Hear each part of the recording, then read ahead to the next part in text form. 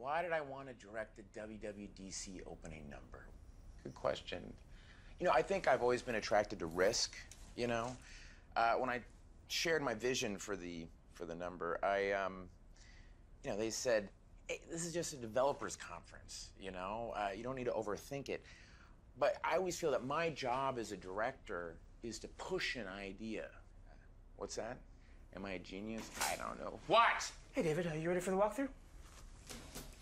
Yeah. Who are you talking to in here? No one. Shh. You were talking to somebody. Unless you were talking to yourself. I've been working on this new app called Work Crush. It's for people who have crushed on their workmates and want to know when they're nearby. It's not for me, but yeah. Oh. Oh, hi, David. Yeah, I thought you were supposed to be guarding my door. Which one is your door? Useless. Rick, Rick, look at me. Need you angry in there, Rick. Need you angry, angry, angry. Yeah. Uh, did you get that email about my email not working? No. What? No, no, no. It needs to be more, you know, like Yeah, he means bigger. bigger, bigger. Yeah, like developers are on fire. Which iPhone you want for the main character, silver or gold? You see silver? You see gold? Okay. You see silver? You see gold? See, I can't tell because the reflection of the flame is on it, and I can't. Can you decide this later? Yeah, he's right. Let's decide it later. We'll take the gold. Gotta choose a talent for the dating app number. Yes. Uh, no. Yes. No. Yeah. The pretty one. That's you. Wow! Did you do that? Oh my gosh, that's my coffee! Yeah! Ah! Oh, cool. Oh, that's awesome. Did you bring my sugar or anything?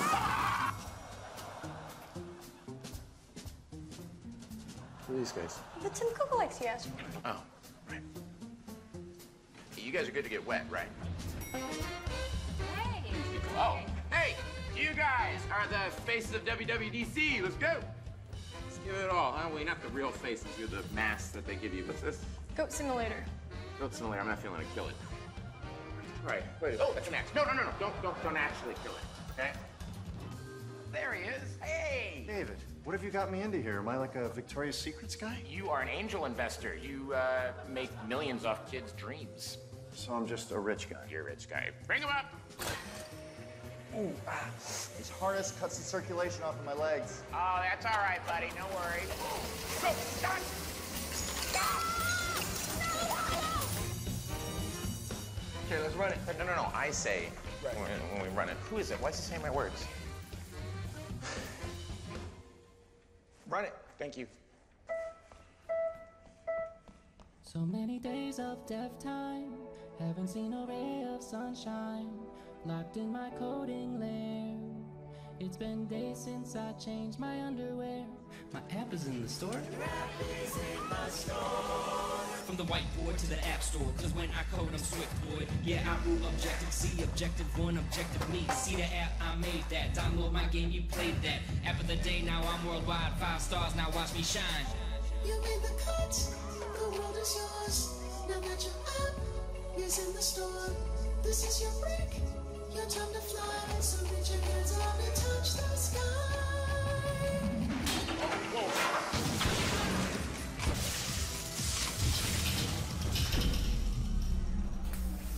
What happened? The generator's blown. Damn it. Okay, at least get a work light. Rebooting. How long until we're up and running? I don't know, maybe uh, 24 hours? Well, what am I supposed to do with this? Guys, we go live tomorrow. That's just a bottle of water and a laptop. I don't know. I think it's kind of pretty.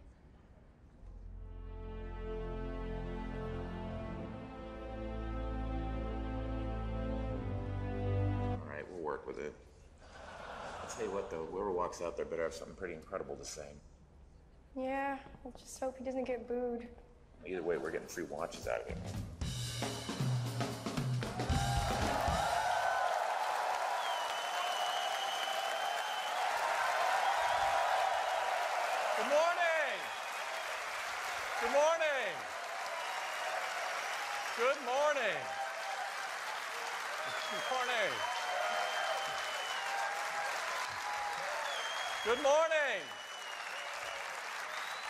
Thanks for joining us and welcome to San Francisco. Welcome to WWDC 2015. Although we may not have any Thank you. High flying trapeze acts, we do have a lot of great things to talk about this morning. This developer conference continues to be the epicenter of change for not only Apple, but the industry. This is our 26th WWDC. We have 10 attendees today from over 70 countries, and 80% are here for the very first time. Uh,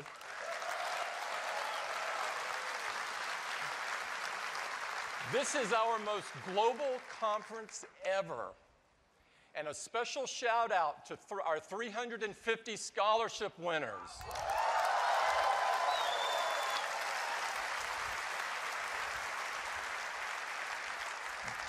These guys are unbelievable. I spent some time with them yesterday. Our youngest scholarship winner is a 12 year old girl from New York. She is going to have a fantastic future ahead. We've got over 100 sessions planned for you and over 150 labs so that you can get your hands on our latest technologies. And we've got over a thousand Apple engineers to answer just about any question that you might have.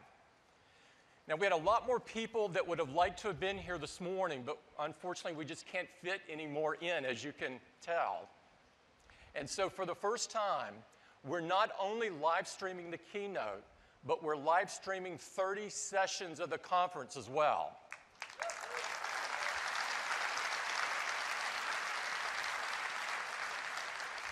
Now, before we get right to the show, I'd like to bring up something that I saw in the news just a few days ago. This is Brandon Moss of the Cleveland Indians, and he hit his 100th career home run last Tuesday. Obviously, it's a huge milestone if you're a baseball player. Not a lot of people do this. And you can imagine how much that ball would mean to him to have it. But it turns out the ball was hit into the Indians' bullpen, and his teammates decided to play a bit of a prank on him they decided to hold it for ransom. And this is the list of things they asked for Apple Watches, iPads, MacBook Airs, iPhones. It's unbelievable. It's a shopping list for the Apple Store. Now,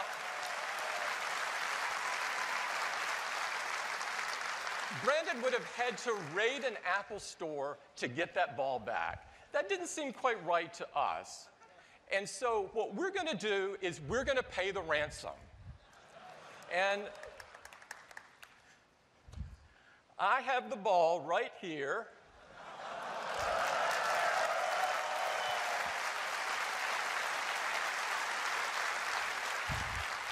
We're giving the ball to Branson, to Brandon, and we're going to give everything his teammates asked for to them so everybody's happy.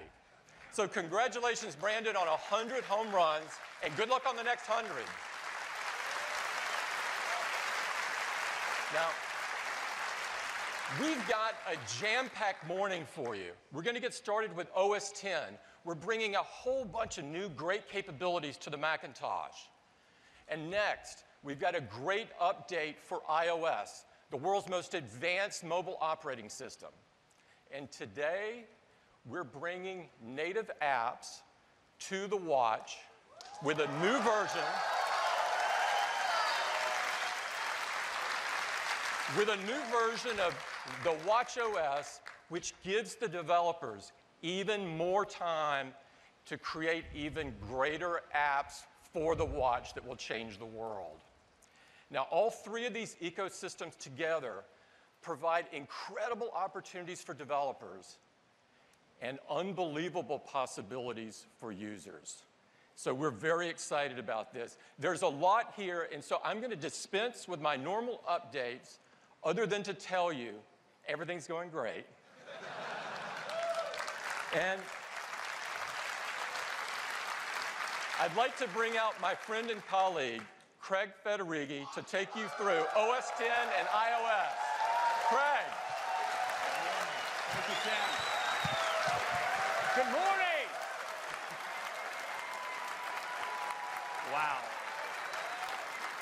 Hey, fantastic to be with you here at WWDC. The team has been doing some amazing work this year, and I'm thrilled to be able to share it with you today.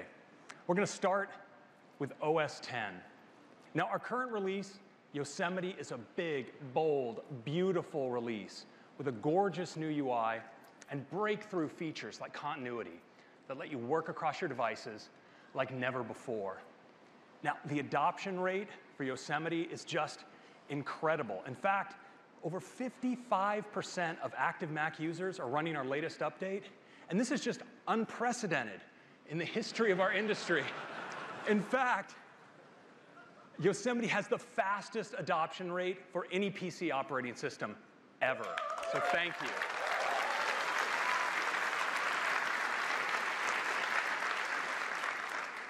So for our next big release of OS 10, we knew we wanted to build on those strengths of Yosemite with some really great refinements and advances. The only really real question, of course, was what to call it. So we had to once again turn to our crack Apple marketing team. now, in typical California fashion, they started with a project kickoff meeting and then headed immediately into a team building offsite. Now, of course, they're in their traditional Apple marketing free bottom Fridays attire. They, they say it's all part of their process. Uh, I'm not sure I get it. Ultimately, this didn't yield any, any uh, names, so they called in a consultant. he told them the answer was to be found within. Not within themselves, but within Yosemite. And so the new name for OS 10 is OS 10 El Capitan.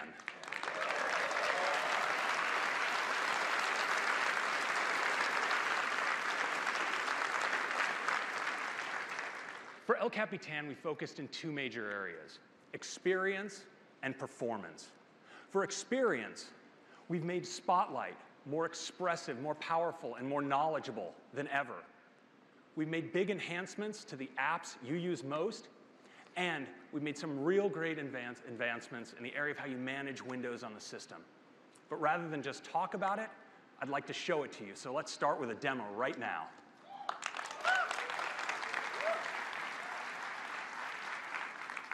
Now, your first task, of course, in a demonstration or whenever you wake your Mac, is finding the cursor. And El Capitan makes this easier than ever. I just do that little shake we all normally do. And there it is. It comes right out to greet you. It's really handy. Now, we brought other great gestures to the system. I'm just going to go here and mail. I have a message here from Eddie. Uh, looks like, well, now, that's a keeper. So I can actually mark it uh, unread to keep it just by swiping two fingers across the trackpad, just like that. And this one I'd kind of like to delete, so I'm just going to swipe it away just like that. So some real nice little gestures. Let's move on now to Safari. Now in Safari, I have some sites that I like to keep around because I refer to them on and off throughout the day. And now in Safari, I can pin those sites just like this. So there's, I'm going to pin my Twitter site here, and of course, I've been following the Warriors. Go Warriors, we're going to get it done. Just like that. Now, pin sites have a lot of special properties. For one, if I close this window and reopen it, you see that my pin sites are all right there and they load instantly. Now, pin sites also behave differently when I follow links. So I'm just going to click on one here, and you notice it opens in a new tab, but my pin site remains. Now I'm going to open up a couple of more links Let's open up this one, and let's say this one. I'll take a quick look. This one looks like some kind of presentation video, and this one's about the Giants. But have you ever had this happen to you? You're like, where is this audio coming from? Well, now, with just a tap, you can mute it or find out where it came from and shut it down, just like that.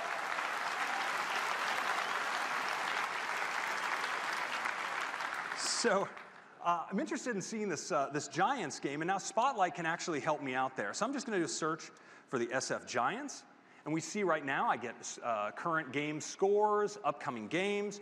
Uh, it looks like the game I want to go to is on Friday, so I can just search for weather on Friday.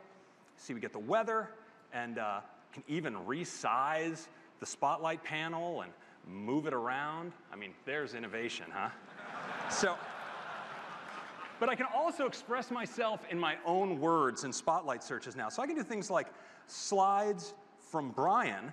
You see, I find those there, but how about slides from Brian about El Capitan. You see, I find exactly what I'm looking for in my own words. Now, this works great in other apps as well. Let's try it out in Mail. So I've been really busy, of course, the last couple of days, and so I've been getting a little behind on my mail. And I want to see the messages that uh, I've received from Phil, but that I haven't responded to yet. So I'm just going to say uh, mail I ignored from Phil. And there, there are a few, but I'll, I'll be getting back to them uh, right after the show. So, next, of course, it's great in the Finder as well. So if I wanted to look at documents that I was uh, working on uh, last year at this time, I might say something like uh, documents I worked on last June. And I find exactly what I'm looking for. So this is really a great way to search.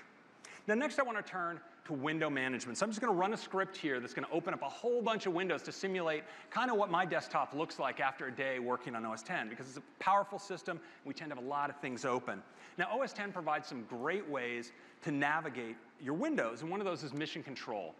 Well, now in El Capitan, we've made mission control smoother, simpler, and faster than ever. I'm just going to take three fingers and swipe up on the trackpad. You see, I get into this gorgeous overview of mission control. I'll just bring forward Safari. Let's do that again and bring up Mail. Just like that, works really great. But of course, OS 10 provides great tools also to organize your windows, and one of those is full screen. I'm just going to take this window here, full screen. And I'm going to reply. Looks like there's a uh, message here from Eddie. He says that he, uh, sorry about bailing on the team dinner last night. He was uh, apparently prepping for the keynote, so that's, that's understandable. But it looks like actually I just got a new uh, mail from uh, Jeff here, and now I can just click away, and it hides, and then, oh, hold on. Busted, Eddie. So I think I'll just drag this actually right into my compose window. It hops right up automatically and I can do it just like that. It's really great. And I can even open up tabs in compose as well. It's really handy. So this is a great way now to work in full screen in Mail. Thank you. Now we've done something totally new to El Capitan and it's the ability to work really easily on two windows side by side. So I'm just going to click and hold here on the green button, and you see it's prompting me to pick a side. I'll just drop it in, and you notice I get an expose of all my other windows. Let me pick the new news app, just like that.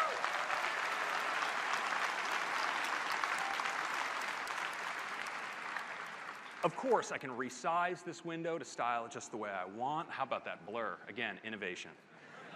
So, great way to work. Uh, here I can drag links, for instance, from Safari right in here. And you notice in the new Notes app, I get a beautiful graphical link that gives me a nice thumbnail that helps me identify uh, what, I, what I dragged in there.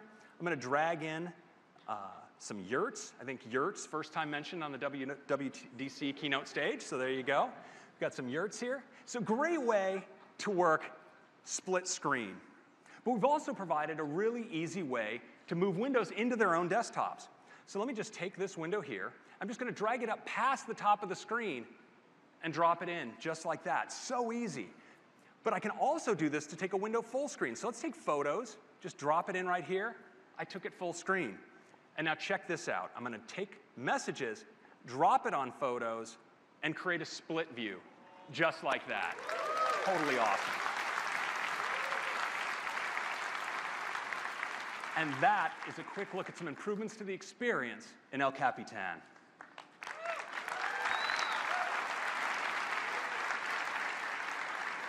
So we saw in El Capitan a powerful form of search in Spotlight that lets you compose your searches in your own words. It knows more than ever. Can look up weather, stocks, game scores. We saw gestures, for instance, just swiping to delete in Mail and of course, pin sites in Safari, and the ability to easily mute tabs. A great new Notes app that supports text styling, checklists, and graphical links, and better window management than ever with a beautiful new mission control interface, easy access to your spaces bar, and of course, the ability to do split view and adjust it to see exactly what you're looking for, every pixel of your display devoted to your content. Of course, there's much more to experience in El Capitan, but now I want to turn to performance. So we've optimized performance throughout the system. In fact, we're seeing about a 1.4 times acceleration in app launching, a 2x improvement in the snappiness of switching apps, the time to get first mail messages twice as fast, and opening a PDF in preview four times as fast. But we've also made deep architectural improvements, and that brings us to Metal. Last year, yeah, thank you, we introduced Metal at WWDC as a way to accelerate graphics in high performance games. It takes the overhead out of OpenGL, providing a high performance API that gives the game direct access to the power of the underlying graphics hardware. Well, this year, we're bringing Metal to the Mac. And we're doing more than that because we're taking the graphics stacks on which apps on OS X are built, core animation and core graphics, and moving them from OpenGL to run natively on top of Metal, making everything you do faster. We're seeing 50% improvements in rendering performance and a 40% reduction in the amount of CPU necessary to do graphics. That means improved performance for your applications and better battery life. But the benefits of Metal don't stop there. Metal's also great for high performance apps. In fact, Metal combines the compute power of OpenCL and the graphics power of OpenGL in a higher performance API that does both. And what we've seen from working with early pro developers is really phenomenal. Adobe came in and in short order was able to deliver an eight times improvement in their rendering effects inside of After Effects. And they've been able to take the drawing engine in Illustrator, move it on top of Metal, and take kinds of UI that previously was non-interactive, like zoom of extremely detailed drawings, and make it completely flawless and interactive thanks to Metal. Adobe's so pleased with this, they've said they're committed to adopting Metal on their OS 10 apps, seeing performance increases up to 8x. They're excited and what it can do for their Creative Cloud users. Well, of course, Metal is also fantastic for games with a 10x improvement, that's 10 times, improvement in, in drawing performance. And so we brought in Epic to see what they could do in short order, and the results are really phenomenal. I'd like to welcome to the stage Josh Adams and Billy Bramer for a quick demo. Thank you, Craig. Thank you very much for having us here today. So last year, Metal revolutionized graphics on iOS. And now, Apple's amazed us again by bringing Metal to the Mac. Of course, this is great news for games, but also for the tools that we use to make those games. Here, you're seeing Epic's upcoming multiplayer title, Fortnite, running entirely on Metal. We're modifying it directly within the Unreal Engine, a development tool that powers many of today's best games. There's quite a bit going on in this scene, though, so let's break it down. First, there are 64 different layers of rendering effects, and that's a lot. They're all combining together, though, to produce what you see on the, scene, on the scene today. If we go into a simple wireframe mode, you can see the thousands of building blocks that make up this world. We can start to add in layers, flat shading, detailed lighting, runtime shadows, and finally, we combine them all together to bring Fortnite's fun and lighthearted aesthetic to life. The interesting thing here, though, is that all of the effects you're seeing are being done completely in real time. Notice how the shadows and objects interact nicely as Josh moves the car around. Finally, we can change the time of day on the fly, dramatically altering the mood of the entire scene. All of this is thanks to the efficiency of Metal. In fact, we're seeing a 70% reduction in CPU use compared to OpenGL, enabling developers like us to create richer 3D worlds. Now, speaking of those worlds, let's hop into the game Fortnite. Now, if you've ever built a pillow fort and battled imaginary monsters with your friends, you already know how to play Fortnite. This is the end of the world scenario you've been training for since you were a kid. Beautifully stylized universe, you can destroy anything you want, gather resources, and build a fort. So let's go ahead and wreck this car. Gather its metal and continue our wanton destruction by chopping down this tree, get some wood for later. Did we mention there are purple death storms? Uh, like this one, for instance. We should go. Now, luckily, while we were out exploring, we found a multitude of weapons. And this broom. If we can just get across the field, our friend's been busy building a fort for us to hole up in. Oh, did we mention the storms are made of monsters? We're gonna need something a bit better than this broom. Nice. And there's our friend laying down some covering fire. Hey, look out! We call that move the power cord. I got a bad feeling about this. You're gonna need a bigger fort. Let's place a trap, head inside. That looks like an enemy's broken into our fort. All right, let's use that wood we gathered earlier and fix this wall, build some stairs, meet up with our friend Topside. Glad you could make it.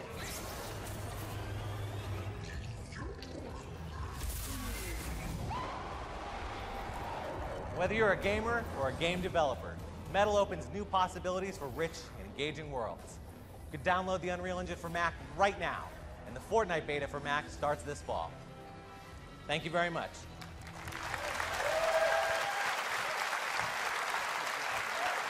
Thank you, guys.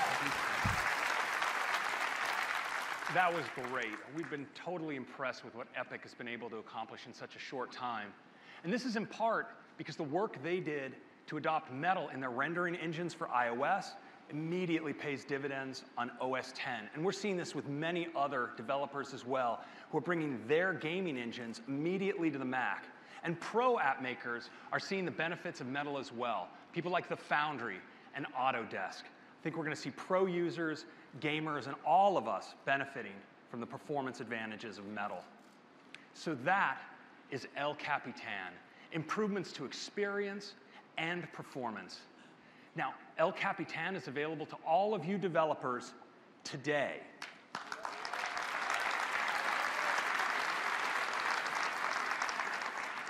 We'll be doing a public beta once again in July, and we'll be rolling out to everyone with a free upgrade this fall.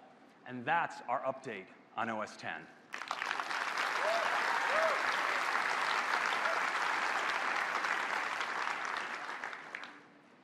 Next, you guessed it, iOS. Now, our current big release of iOS is iOS 8. And iOS 8 was a huge release with tons of new features for users and a phenomenal set of technologies that you developers have been able to use to deliver all new experiences to the platform.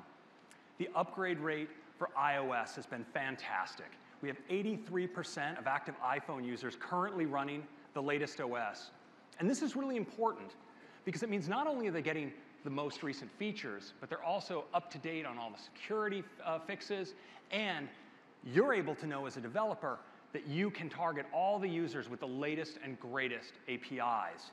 And this is a benefit that actually remains really unique to iOS. Well, so as we look forward,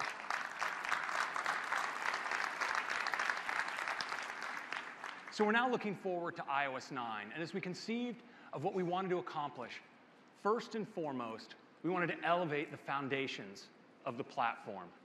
Things like extending your battery life, improving performance, and enhancing the security to protect customer data. But there was more we wanted to do. Adding intelligence throughout the user experience in the way that enhances how you use your device, but without compromising your privacy. Things like improving the apps that you use most and taking the experience to the of the iPad to the next level. I want to start today with intelligence and Siri. Now, Siri has quietly become incredibly popular. It serves over a billion requests per week. And this is in part because Siri has gotten so great at understanding what we're saying. In just the last year, it's seen a 40% reduction in uh, word error rate down to 5%. That's an industry leading number. And Siri's 40% faster than ever at responding to what we say.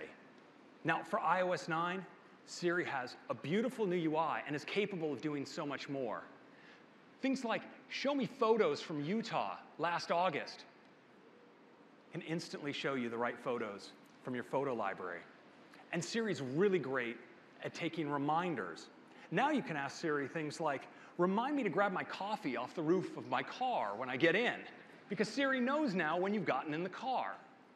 And of course, we often want to take reminders about things that we're looking at on our device, some content inside of an app, maybe a Safari. And so now you can say things like, remind me about this when I get home, and that reminder refers right back the link to specifically what you were looking at when you took that reminder. So Siri is a great assistant, but the best assistants are proactive. And so in iOS 9, we're bringing proactivity throughout the system. So say you like to run in the morning, and when you do, you like to listen to music. Well, now your phone can learn that about you, and when you plug in your headphones, can offer up now playing automatically right on the lock screen. Yeah. And this is all context sensitive to the time, the place, and even the devices you're connected to. So you do the same thing in the car later on, and it might offer up the, e-book, the uh, audiobook that you've been listening to.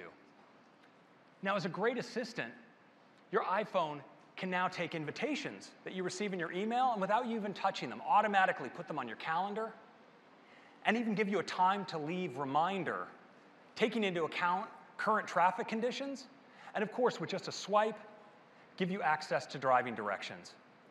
Now, have you ever had this happen to you? You get a call, and the number looks kind of familiar, but you're really not sure who it is? Well, as a great assistant, your phone can now look in your email and find out who that person might be and suggest it to you right on the incoming call screen. It's super handy.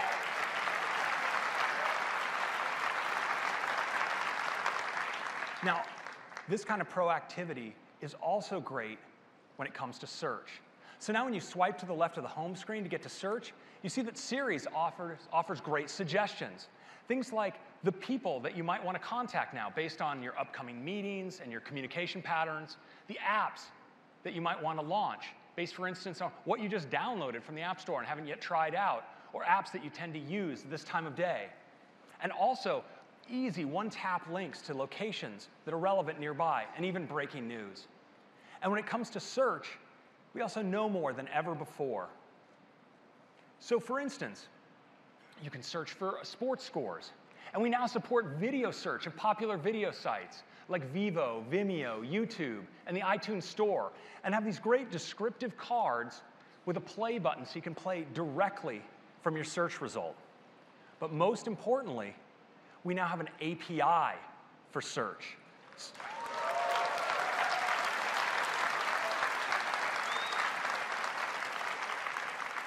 So now when a user performs a search, we can find content behind the apps they have installed on the device and pull those up in results. And when they tap, they're deep linked directly into the application. You see, for instance, here Airbnb, that they can get their result.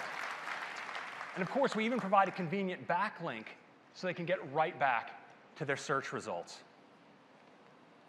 So we think these kinds of intelligence features really make a huge difference in your experience in iOS. And to show you how, I'd like to give you a quick demo now.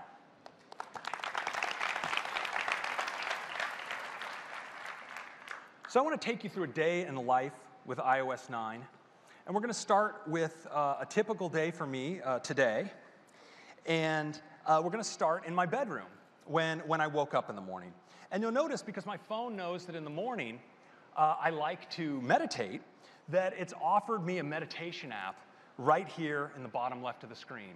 So I can just swipe up from the bottom left, and I'm taken right in to meditate. Ah, this is so serene. Oh, well, it looks like I got an email, a, a, message here from Phil. Um, so Phil says that he's putting together the invite for tonight's big karaoke potluck. And can I still pick up this super awesome karaoke machine? Well, you know, Siri actually, when I take reminders, is able to link me right back to what I'm looking for. So if I want to remember to pick this up, I can just say this to Siri Remind me about this later today. And so Siri will put together a reminder, okay, and you see the you. link right back to what I'm looking for. Well, I think after all, meditation isn't probably for me, so maybe I'll move on to exercise. So I'll head into the uh, home gym here. And because my phone knows that when I'm in the home gym and I hook up headphones that I like to listen to music, watch what happens when I plug in the cord my headphones, jumps right in and offers me some energetic music. So let's all uh, bust a move. Bust. I don't know what kind of exercise we're all doing here, but uh, pretty good. Oh, looks like actually I've got that invitation that Phil was going to send me. So now, normally I'd have to actually go into mail, look at the time, put this on my calendar, but in fact, my phone has automatically done that for me. Let me just swipe down here into Notification Center, and we'll look at my calendar for the day. And you notice that automatically it's already been added right there. Now, if we look at the rest of my day, up ahead, I have uh, my vocal warm ups, of course, for the karaoke performance, and then, uh, and then WWDC. So let's, uh, looks like I have a little bit of time to prepare my uh, dish for the big potluck. So I'm gonna head into the kitchen now, and let's just swipe in. Now, when I'm looking for recipes, for instance, I like to go into search. So let's just swipe over into search. And we see that Siri actually has already, before I've typed a character, made suggestions for me for people I could contact, for instance, like Trent Reznor, my uh, vocal coach. So I can just tap, and here I can call Trent up, and he can help me tap into my inner pain and rage that allows me to fuel my vocal performances. I actually haven't been able to find the pain and rage, tell truth be told. But uh, also, we have all these great apps I can run and locations uh, nearby. For instance, because it's morning, you see coffee and tea and breakfast places are suggested, as well as news. But in this case, I actually want to do a search. So I have some potatoes I think I could make use of in this recipe. So let's just search for potato. And here you notice I'm getting search results right from Yummly. So let me tap into Yummly, and you see I'm deep linked directly in, so I get the great view provided by that application. Now, potato chips aren't exactly what I'm looking for, so I'm just going to hit the backlink here, and I can just browse directly in to another result Canadian poutine. Now, that looks like exactly what the doctor ordered. Yes. So let's take a look at the ingredients. Looks like six tablespoons of unsalted butter. I'm down with that. So I'm going to make a um, at least a double batch. So I can just use search to actually search for uh, to do a conversion of tablespoons. Figure out how much that is. So that actually is three quarters of a cup. So I'm going to round up to an even quart and uh, make myself some fine poutine. So Search is really handy, but Siri is also great at search. So I want to jump forward to later today when I think I'll be reminiscing about WWDC's past. And I can ask Siri to help me with that. Show my photos from last June in San Francisco.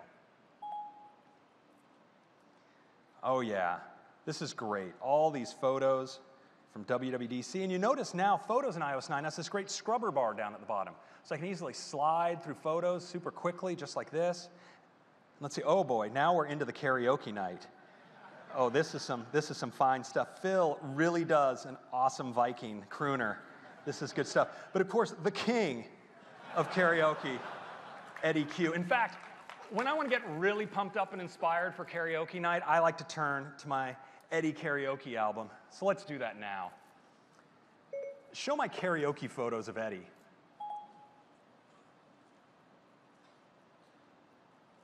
Oh, that is the master at work. Hitting all, I love this hat. Uh, this is it, totally dope. Um, great stuff. Well, I could really look at these just all day. But you know, actually, my assistant has given me a r- reminder based on traffic conditions that it's time to leave. So I'm going to wrap up this demo of intelligence on iOS 9.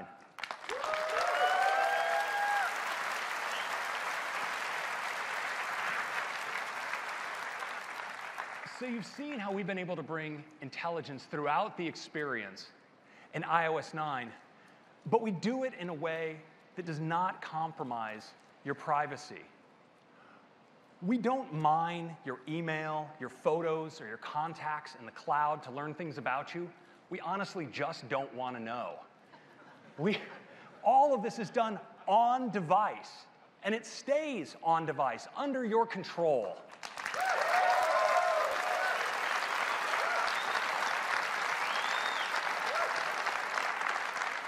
And if we do have to perform a lookup on your behalf, for instance, for current traffic conditions, it's anonymous. It's not associated with your Apple ID.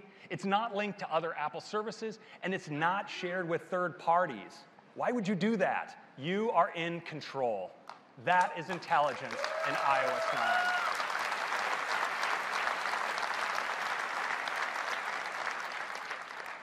9. Next, let's turn to Apple Pay. And to take you through it, I'd like to bring to the stage our Vice President of our Apple Pay business, Jennifer Bailey. Jennifer. Thanks, Craig. It's great to be here. We have been hard at work on our goal of replacing the wallet, and we've got some exciting updates for you today. I hope you've all tried Apple Pay with our super easy, secure, and private way to pay. Last year, we started with credit and debit cards, and we now have over 2,500 banks supporting Apple Pay.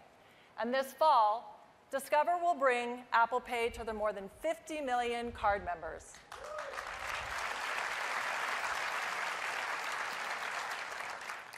Popular merchants are also uh, expanding their acceptance for Apple Pay, including great retailers who will be supporting Apple Pay this year, including Trader Joe's, Baskin Robbins, and J.C. Penney's. These incredible brands join a great list of the biggest and best merchants supporting Apple Pay since our launch in October. And for you basketball fans, if you're lucky enough to have finals tickets, you'll be able to pay for all your team logo wear at both arenas using Apple Pay.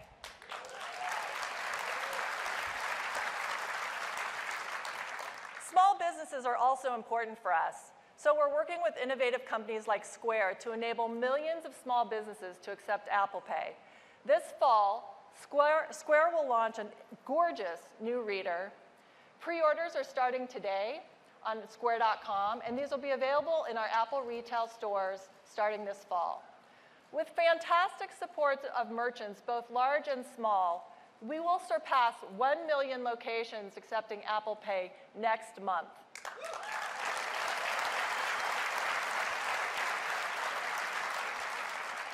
And thanks to our amazing developers, we have great momentum within apps as well. Apple Pay is so easy to use in app. Our developers are telling us they're seeing more than two times increase in checkout rates. And we're adding new apps with Apple Pay to the App Store every day. Here are some of the latest, representing a great range of categories, from Delta in travel to Etsy, the leading crafts marketplace. These apps join an incredible group that are redefining new and simpler ways to pay. We're also excited to be working with Pinterest. Later this month, Pinterest will launch Buyable Pins, where you'll be able to buy items from thousands of stores, including Neiman Marcus and Macy's, right from within the Pinterest app, using Apple Pay, and only on iOS.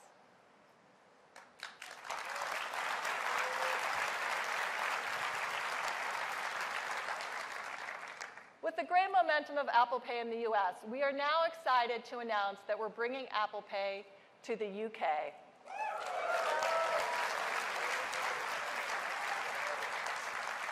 And it's coming next month. We will, we will launch with eight of the most popular banks, with more coming this fall. With this great lineup of banks, we will support more than 70% of the credit and debit cards in the UK.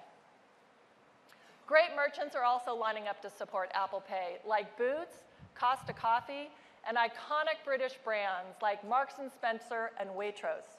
We will have over 250,000 locations supporting Apple Pay in the UK. That's more than we started with in the US at our initial launch. We are also thrilled that our customers will be able to commute and pay for their fares on the London transportation system with Apple Pay.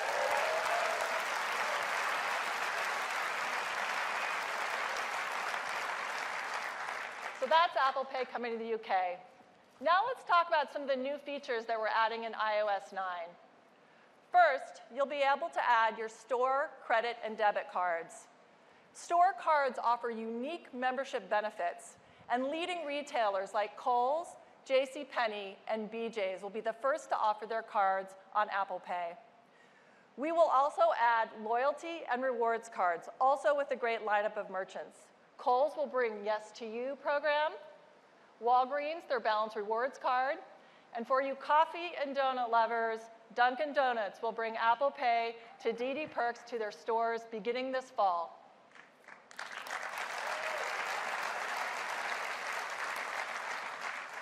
And Apple Pay automatically presents the right uh, card, so you'll never miss a reward. With the expansion of Apple Pay and the new types of cards, we've decided it's time to rename Passbook to Wallet.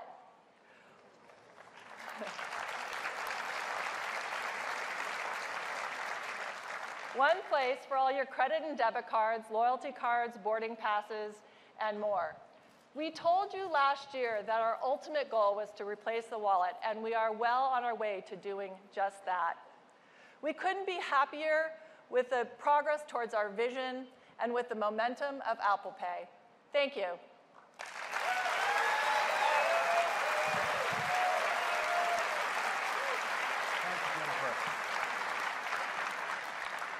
So that's Apple Pay. Let's turn now to our enhancements to the apps you use most. And we're going to start with Notes. Notes is used regularly by about half of our users on iPhone. And for iOS 9, we have some really great enhancements. It starts with how you work with simple text. So now, Notes provides a really handy toolbar with formatting options. So it's easy, for instance, to create titles, heading styles, numbered lists. But of course, we all like to create checklists in our notes. And so Notes makes that really easy. And of course, you can just check off your items with just a tap. Now, because a picture is worth a thousand words, we make it easy to get at your camera and your camera roll and put photos directly in your notes. We're also providing a great new way to capture your ideas by just drawing with your finger. We provide some great drawing tools. You can make sketches with these tools and drop them right inside your note. Now, I don't know if you're like me, but a lot of times the things I want to put on my notes are things that I'm looking at that I find in other apps, for instance, a web page in Safari. So now, from the share sheet, you can just, with a tap, add a link right back into your notes. And we make it really easy to find your notes. So we organize them by time, of course, and now we have these great thumbnails that let you see your embedded images at a glance. But we also provide this cool new attachments view that shows you all of your photos, your maps links, your website links, and when you tap, you can get right back to the note where they came from. Now, Notes is great on iPhone, on iPad, and of course on the Mac as well. And all of your content is kept up to date across all of your devices via iCloud. That's a quick update to Notes.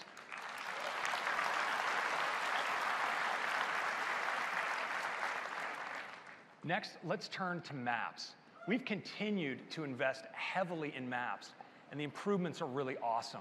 We're seeing 5 billion user requests per week.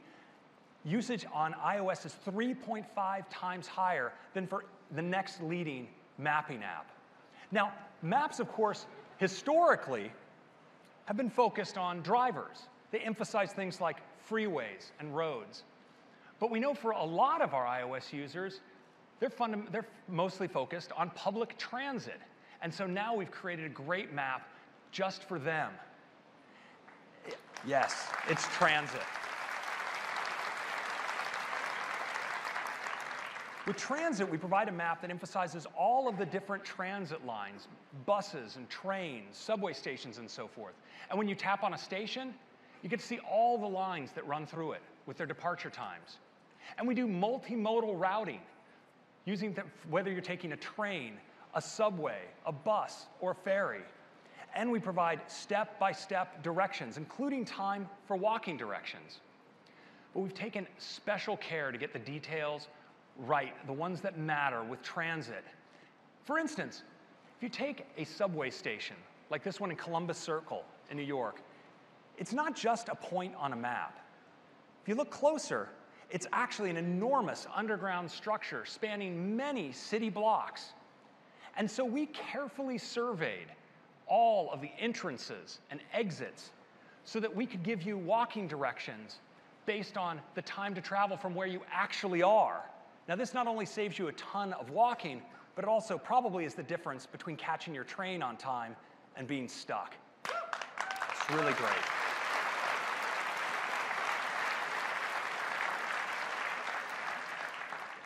Now, we've taught Siri all about transit, so it's effortless to ask Siri for directions. And we're going to be rolling maps out, transit, starting with these cities across the world, and with these and 300 more in China.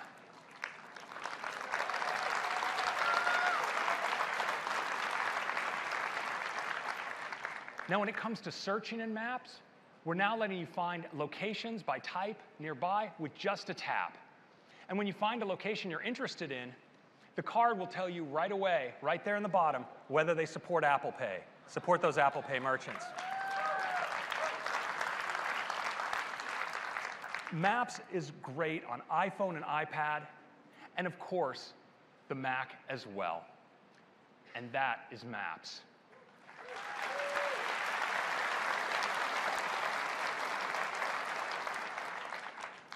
The apps that we've chosen to build in to iOS are there because they represent fundamental experiences to living on a mobile device. And there's been one that we've been wanting to do for years, something that so many of us find ourselves wanting to do every day on our device. And so today, I'm pleased to announce that we're introducing a new application, and it's called News. News is beautiful content from the world's greatest sources personalized for you. Now, here's an article in News. It's absolutely stunning. Now, publishers can easily create beautiful content using gorgeous imagery, custom layout, and rich typography. But news is also interactive. And so, to give you a look at news in action, I'd like to invite to the stage our Vice President of Application Product Management, Susan Prescott. Susan.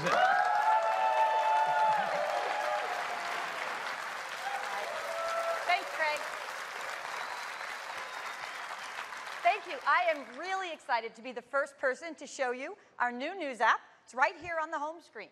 The first thing News wants to do is get a sense of what I like. So it's going to give me a short list of really great choices to choose from. And you'll see as I tap, additional recommendations come in on the bottom to give you even more choices. So I read Atlantic, Wired, New York Times, and ESPN. I'm still with you, Warriors. And Daring Fireball, topics too, like science, baking, and travel. I could keep going, but I think that's a great start. So I'll tap done. News creates a personalized feed called For You. It's based on the choices I just made, and it's all my news in one place. You can see it looks great. It's easy to scan, and it updates every time I check news. The articles can come from anywhere, but the best ones are built in our new Apple News format. Like this Wired article featuring Rashida Jones, awesome in Parks and Rec and The Office. Look at the rich typography, beautiful images, and my favorite part are the really fun animations. It's fast and fluid. We think this offers the best mobile reading experience ever. To get to the next article, I just swipe. Not just great for magazines, it's great for newspapers too. This is a New York Times article, and it looks like a New York Times article. Swipe down, there's a photo gallery right in line, fast, fluid to swipe through. Go to the next article. This one's from Quartz, but I'm seeing it because I said I'm interested in science. It's a pretty cool article about a font based on Albert Einstein's handwriting. The animation makes it come to life, and frankly, who knew he had such neat handwriting? It's kind of interesting. Swipe again, and I get an article from Bon Appetit. Great summer recipes, and a crazy little jiggly thing, which is kind of fun. So I'm a little busy right now, so I'm going to go ahead and bookmark this to read later. Next, ESPN. I love you, Steph. Uh, so. Now, I read ESPN for the articles, but there's also some beautiful photos and videos.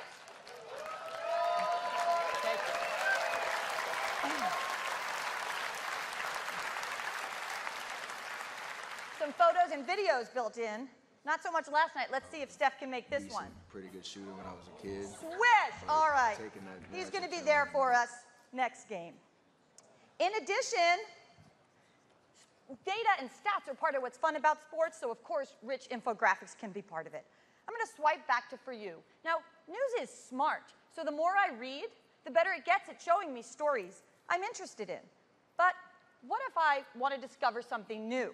Well, I can tap here in the bottom on Explore. And Explore, based on what I've read, will show me new publisher channels I might be interested in and suggested topics. Well, I love technology. I'm going to go ahead and follow that. But news keeps track of more than a million topics. So I can be much more specific about my interests. To do that, I can tap on search and type. I'm going to type Swift. And I get a number of hits, everything from Taylor Swift to what I was looking for, Apple's new programming language. So it's a beautiful feed, and what's really cool about this is there are powerful machine learning algorithms that analyze the contents of the articles to figure out which stories belong in which article. This looks like just what I was hoping for. I'm going to go ahead and add Swift to my favorites. So let's take a look at favorites. I'll tap down here. Favorites is where I can see everything I'm following, including Swift, which I just added. It's a great place to go if I want to dig into a particular topic or if I want to read a newspaper or a magazine. Let's say today I want to read Wired. You can tell I'm in the Wired channel. You see the Wired logo at the top and the Wired channel starting with top stories. I can swipe through and see a collection of all the print and web stories built in Apple News format, and it looks terrific. I'm going to look at one more story. This is about the first civilian artist in space. Cool concept and really cool. Want to show you this. We've taken photo galleries to the next level with something we call photo mosaics. Look how beautiful it looks on the page. Stunning. And, as you'd expect, I just tap to zoom in on the photos. It looks great. We think there's never been a more beautiful magazine reading experience, a mobile reading experience in general, and this is just one of many channels with beautiful stories built in Apple News format. That is a really quick look at news. We can't wait to get it in your hands. Thank you very much.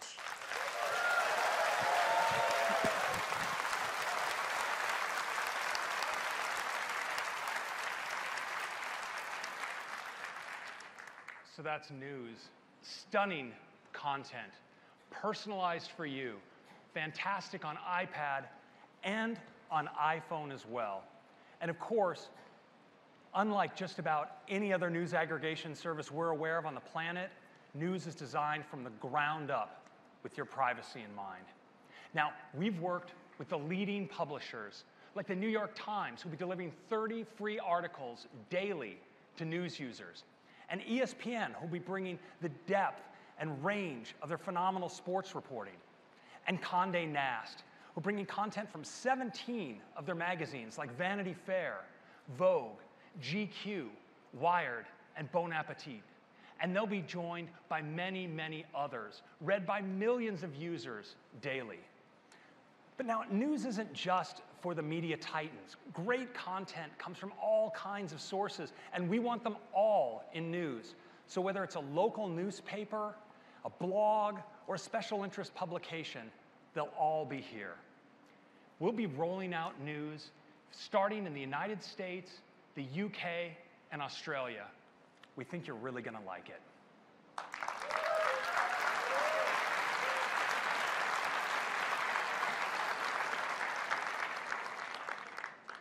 Next, let's turn to iPad. Now, iPad is a transformational device. For our users in education, business, uh, business, and at home, for many of them, their iPad is their primary computer. And iPads are just tremendously powerful. And so in iOS 9, we're elevating the iPad experience to a whole new level. Now, it starts with something really simple, which is how you work with text. And that brings us to the QuickType keyboard. Now, in iOS 8, we introduced the suggestion bar that makes it quicker than ever to type and enter what you're, you're trying to get in. But now, in iOS 9, we've added shortcuts to that bar. So with just a tap, you can cut, copy, paste, format your text, access your attachments. It's really handy. But you know, what makes a multi-touch keyboard so special is that it can be anything you want. It can transform. And so now, when you want to move the cursor or make a selection, you can now just put two fingers down on the keyboard and it becomes a trackpad instantly.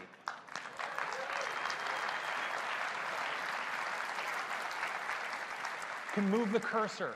You can make selections. Of course, you can use the shortcut bar to cut, drag to a new place, and paste, editing more quickly than ever before and without your fingers ever leaving the home row. It's really great.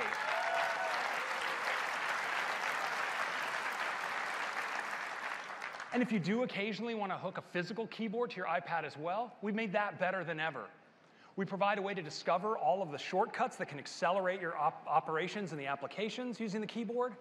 And we provided shortcuts for app switching. This might look familiar to some of you, as well as to searching in Spotlight.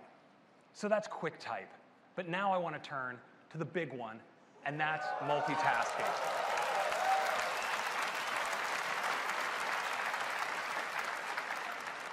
So iPad has always supported forms of multitasking, like this great graphical task switcher, and these nice four-finger gestures that let you move between applications.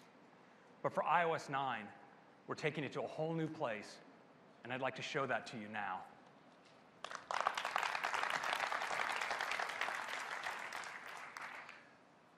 So let's start here on my iPad. And what I'm going to do first is double tap on the home button, and you'll see our new task switcher. Really gorgeous. Big, full screen previews of all the apps. Just move right into Safari like this. But of course, often when I'm in an app like Safari, I then I just want to quickly check my messages. So now, with just a single finger swipe from the side, I can slide it right in with what we call slide over. And of course, it's fully interactive right here. I can take a look, maybe type a response, put it right back. I'm back in Safari. You do that again. Now from the top, I can pull down and bring in other applications. So let's bring in calendar. Of course, fully interactive, so I can tap into another day. Let's bring in another app. I'm going to bring in the new Notes app, just like that. Now, sometimes, of course, I want to stay working in Notes and Safari both at the same time, so I can just tap here on the divider, and now I'm in split view. They're both completely active. In fact, for the first time ever, multi-app, multi-touch. I can move them both at the same time.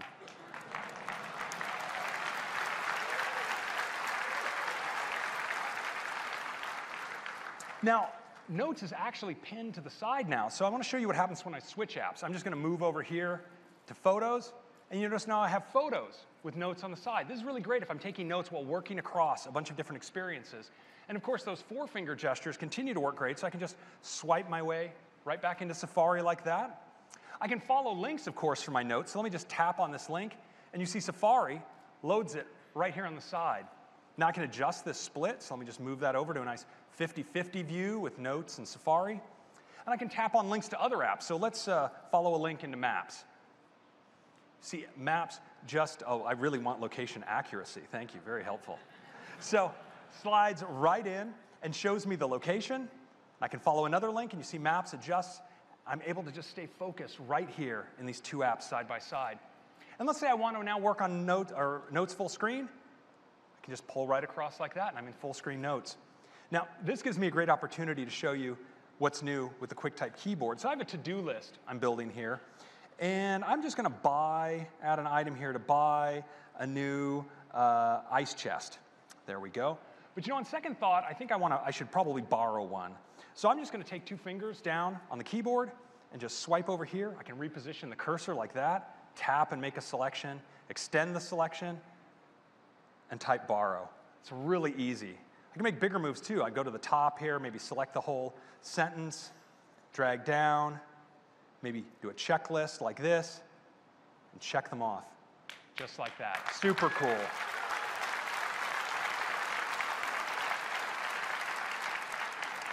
Next, I want to show you multitasking in the context of something I think we all do uh, quite a bit on our iPads, which is not that, which is watching ESPN.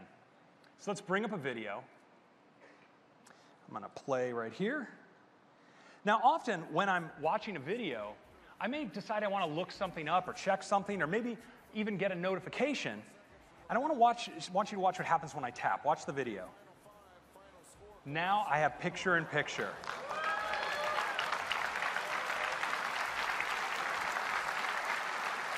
So I can still listen. I can watch my video. I can, of course, resize the pip if I want, like this. I can move it around the screen so it's out of the way of what I'm working on. I can even move it off the side. Sometimes I just want to listen for a while while I work. And of course, it stays with me wherever I go. I can pull it back, and then when I'm done, just tap to put it away. And that is multitasking in iOS 9.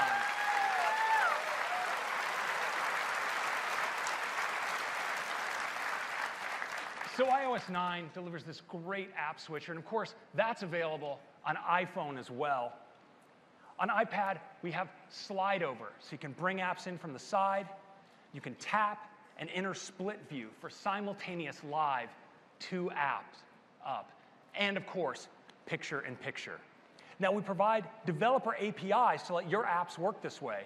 And the good news is that you've already done most of that work.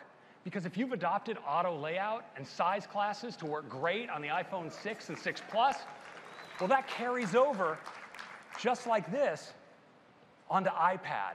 Twitter came in and was able to do it just in minutes. It was really incredible. Now, Slide Over is available for the iPad Air, Air 2, Mini 2, and Mini 3, as is Picture in Picture. And our most powerful split view is available on our most powerful iPad, the iPad Air 2. That's multitasking.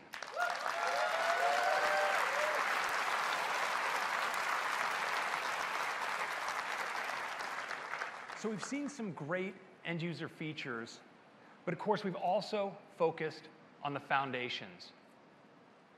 In performance, as you saw earlier on El Capitan with OS 10, we've taken the core frameworks that we use for drawing on the system, core animation and core graphics, and we put them on top of metal. We're seeing great acceleration, 1.6 times improvements in animations and scrolling, and a 50% reduction in CPU usage for drawing. It's really great. Now with battery life, we focused on real world use cases and optimized them. And we're seeing an addition of one hour of typical use on a full charge on iPhone.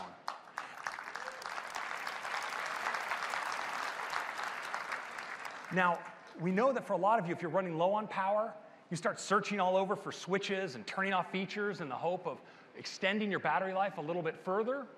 Well, now, in iOS 9, we give you a single switch to enter what we call low power mode. And it pulls levers that you didn't even know existed and is able to extend battery life for an additional three hours of typical use on top of that additional hour. It's really great.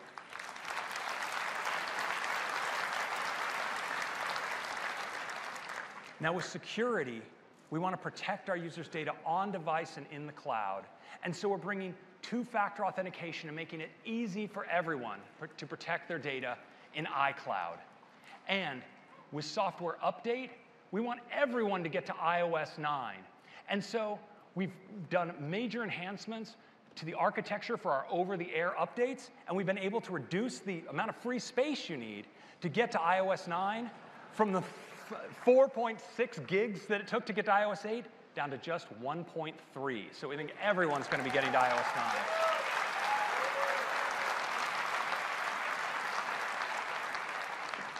So iOS 9, intelligence throughout the system, Apple Pay, enhancements to really popular apps like Notes and uh, Maps, an all-new News app, and incredible features now for iPad with multitasking and QuickType, and of course, enhancements to the foundations. Now, iOS 9 is a great release for our users, but once again, it's a fantastic release for all of you developers. Bringing a ton of new features. You saw search extensibility. We're adding UI testing to Xcode. We have a new technology, yes, we have a new technology called app thinning, which optimizes your downloads to exactly the subset of resources needed for that user's device. So you're able to get, uh, take less space on device. It's really great. Now, when it comes to gaming, We've enhanced Sprite Kit, Scene Kit, and Metal, and introduced three new frameworks. Gameplay Kit to bring artificial intelligence with path, uh, path avoid, optical, obstacle avoidance and pathfinding. Model I.O. to provide beautiful lighting on your 3D models. And Replay Kit. It lets you enhance your applications to let users record their gameplay as video and share it. It's really great.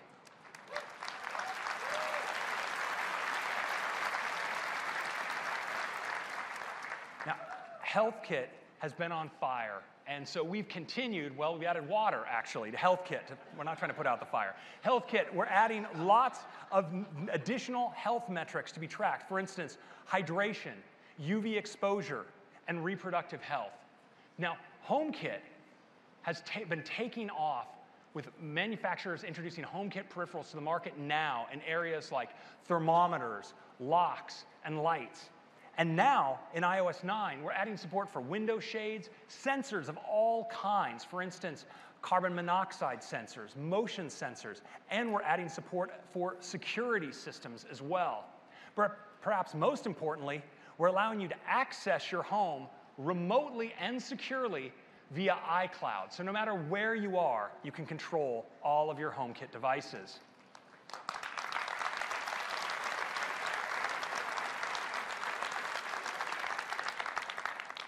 Next, CarPlay. So CarPlay supports audio apps, and now in iOS 9, it also supports apps by the automaker to control things in your own car without leaving the CarPlay experience. And CarPlay supporting more kinds of screens, wider aspect ratios, high DPI.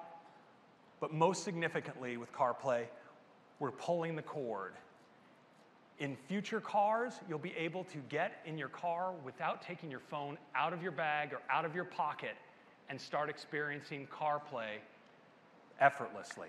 It's going to be really great.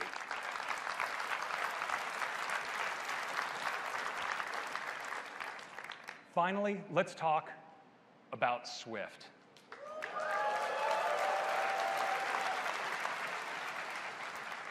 You all know that the growth that Swift has been experiencing is just unprecedented, and we've all seen it with the flood of applications coming into the App Store. Well, now we're stepping on the gas this year with Swift 2. Now, Swift was designed from the beginning to be fast, and we've continued to roll out targeted optimizations all year long. And now with Swift 2, we have an all new optimization technology that's especially great for complex applications and object oriented programming that we call whole module optimization, and the results are really fantastic. In addition, we're bringing the language features that you've asked for most an elegant new error handling model, the ability to see your interfaces as synthesized headers in Xcode, and the feature that Tim has been begging for all year protocol extensions. You're all going to love it. Now, we think Swift is the next big programming language, the one that we will all be doing application and systems programming on for 20 years to come. And we think Swift should be everywhere and used by everyone. And so we're going to be doing something really big. Today, we're announcing that Swift will be open source.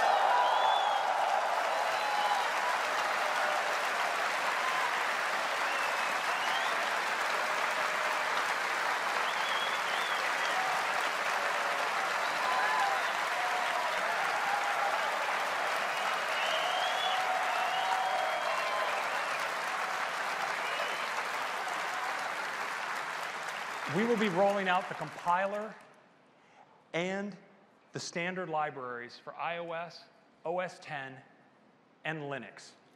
And it'll all be out there by the end of the year. So that's Swift. And that is iOS 9.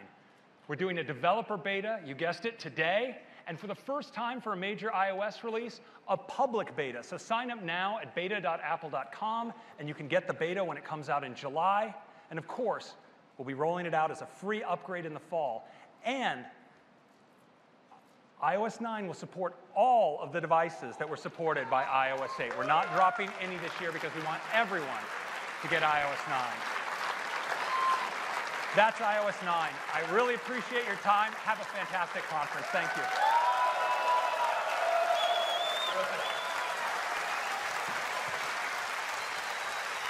Thanks, Craig.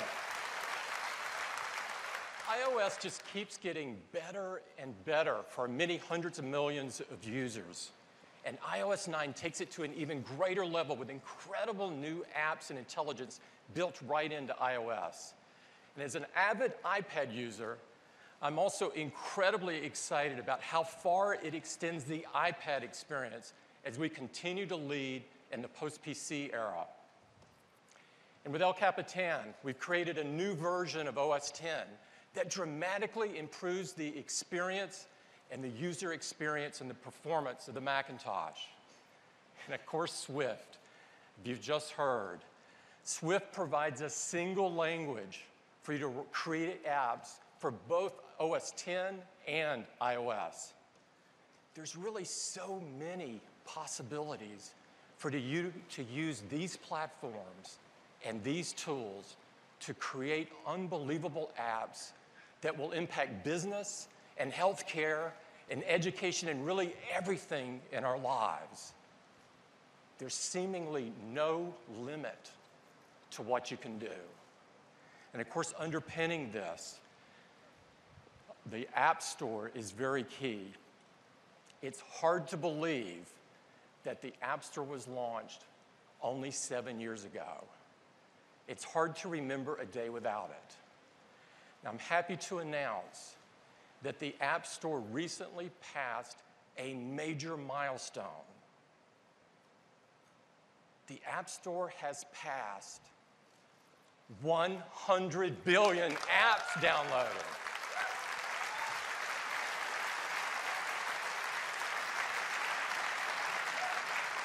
The rate of growth and the momentum is absolutely staggering.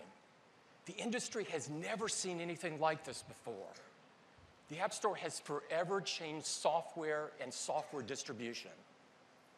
And it's also been an economic boon.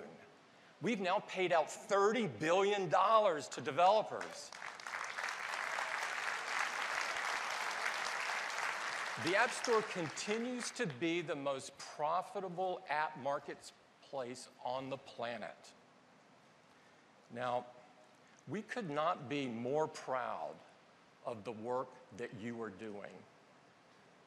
More and more, developers are transforming, empowering, and reimagining the very important things that we do in our daily lives.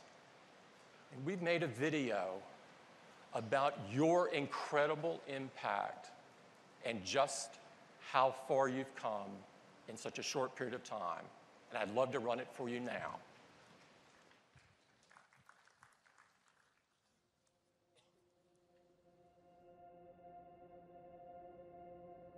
Eight years ago, when the iPhone was launched, it didn't have an app store. And there was tremendous desire on the part of developers and customers for Apple to let third-party applications be created. We all had this dream that apps were going to become really important, but it took some time to realize how they would affect everything that we care about. And as that cumulative effect appeared, then we all start to realize, oh my goodness, this is bigger than any of us imagined.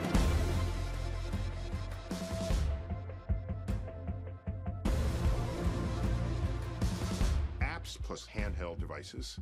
I think that's a watershed moment in civilization. I put it up there with the invention of the microscope and the telescope. Here we live in a time where the most powerful tools ever imagined to investigate and probe our world are in the hand of essentially everyone. If you think the Industrial Revolution was transformational, the App Store is way bigger. I don't think we've seen anything reach a mass adoption at anything close to this pace. It took, for example, electricity uh, over 100 years to get to its first 50 million users. It took television 13 years, and the App Store got to 50 million users in only 17 months.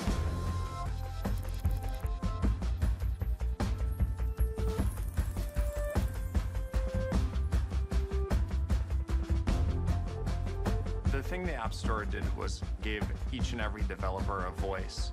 You know, it's a testament that two guys in a room working on an idea can launch an app and instantly have hundreds and millions of people very quickly. The iPhone made photography universally accessible.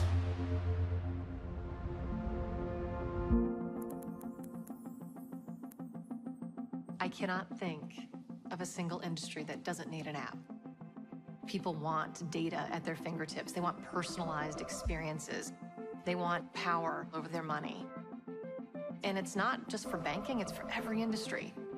The App Store has fundamentally shifted how we all need to deliver. It's leveling the playing field. We don't have to own things. We don't have to own our own cars. We don't have to own our own music. We can call it up when we need it. That's a big change, all flowing from the idea of not just convenience, but people building up an infrastructure around that. We're now talking not about hundreds of people getting the benefits of an idea, but millions.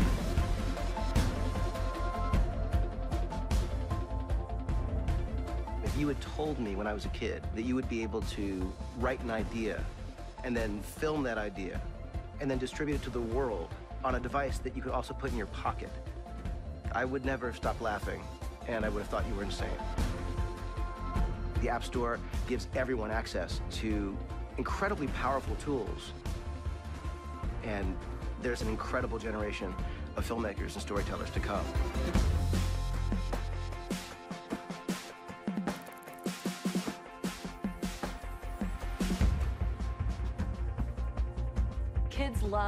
Technology and they love interacting with the iPad and with apps. That wonder and awe that gets ignited is actually being utilized to help that person learn. Certainly in education, there's so much potential to take the classroom with you anywhere.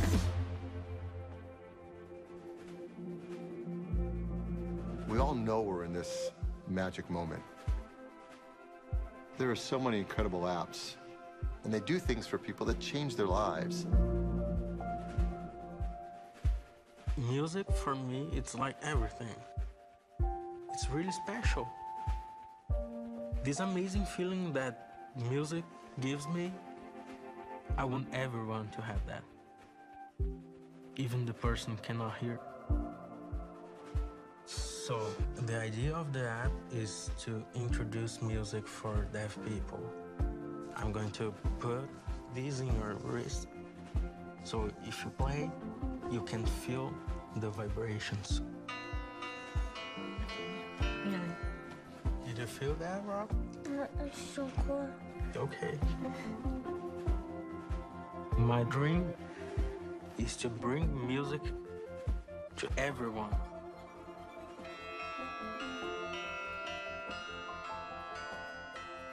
It is an amazing time to be a developer. We're still just at the beginning of all this. This moment where the technology of an iPhone and an iPad and the watch enable so many incredible things. There's so much that can still change and evolve due to the power of applications.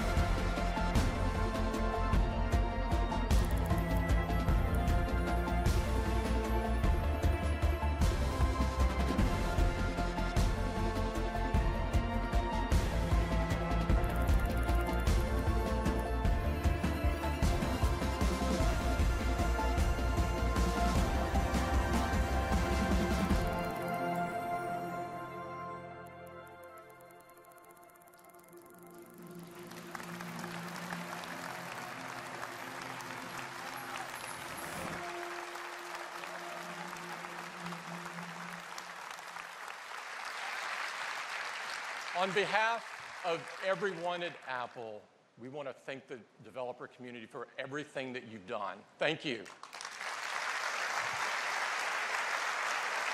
You, have changed so many parts of all of our lives and transformed the world in the process. Now, we want to talk about now the next opportunity to transform the world. And that's the opportunity to bring native apps to the watch with a new version of watchOS.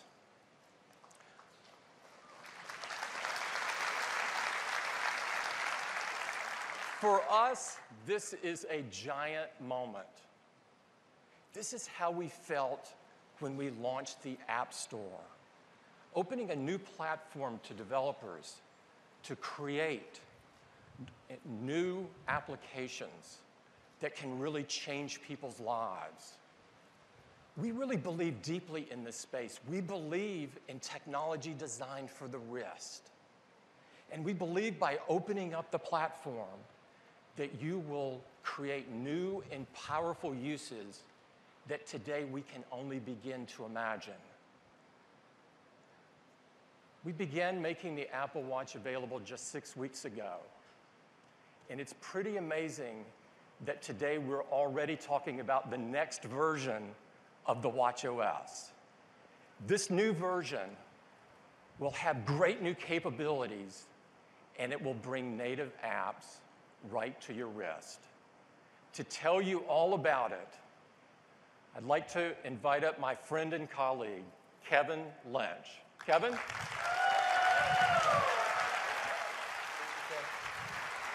Hi. So we're moving really fast on watchOS, and I'm super excited to talk with you about the enhancements that are coming in watchOS, as well as the powerful new abilities for app development. Let's start with the enhancements. The enhancements include great new timepiece functions, improvements in communication, as well as in health and fitness, and support for the new capabilities in Apple Pay and Maps and Siri. Let's start with timepiece. Now, already Apple Watch is a, is a really great timepiece, most customizable one in the world, and a lot of that is due to the watch faces and how you can change them. Well, we're adding some new watch faces in watchOS 2. That includes a beautiful new photos face, to be able to select any photo that you have and create a watch face out of it. You can make more than one, of course, and switch between them as you like. Or you can select a photo album, and every time you raise your wrist, you'll see a different photo from your album show up. It's a great way of seeing your photos throughout the day. Now, we went a little further with this and we shot some photos ourselves. So we did some time lapse photography in some beautiful locations around the world. And the way this works is when you raise your wrist, you'll see this 24 hour shoot that we've done in different locations. And it will be your current time there. So if it's noon, you'll see noon in London. If it's at night, you'll see Big Ben all lit up. And we've done this not only for London, but some other locations too. You can choose from Hong Kong, Mack Lake, which is a beautiful place in the Sierras, as well as New York and Shanghai and London. So a great way of seeing some really beautiful imagery, both your own and these time-lapse images on your wrist. Now you can customize your watch with these images, but you can also choose to show the information that you like on your watch face with something in traditional watch terms is called complications. Now with watchOS 2, we're really excited to enable app developers to make your own complications.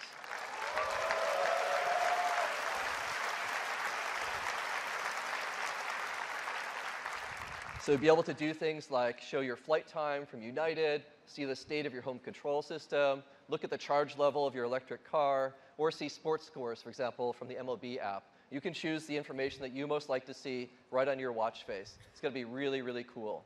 And this will work not only on the modular face, but across the others that support complications as well. You'll be able to choose from a variety of templates, and we'll make those look beautiful in each of the different watch faces.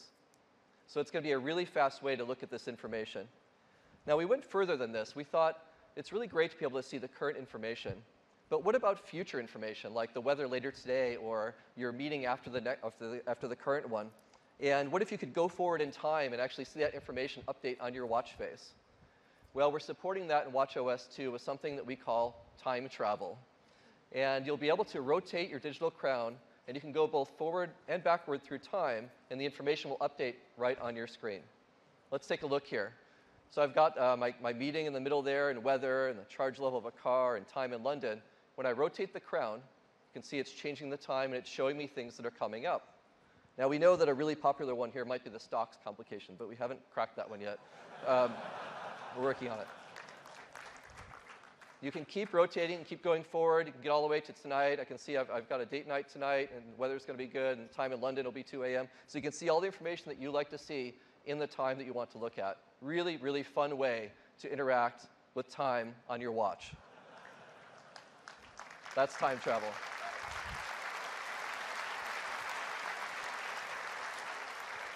Now, we also thought, what would be a great experience for the watch when it's on your nightstand and charging? Well, we've come up with a new user interface for this in WatchOS 2 called Nightstand Mode.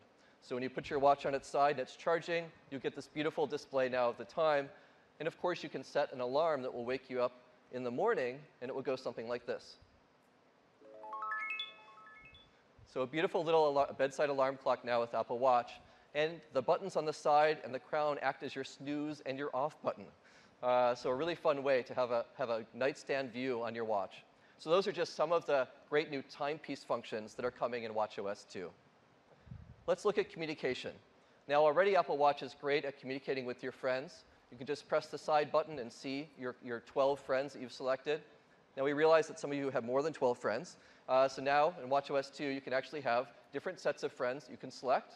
And you can add a friend right from your watch by pressing the plus sign and add a friend right there. Isn't that cool?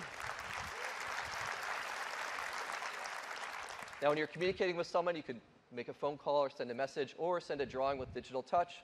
And now in watchOS 2, you'll be able to use multiple colors in your drawings. So you can draw a beautiful flower that has more than just one color.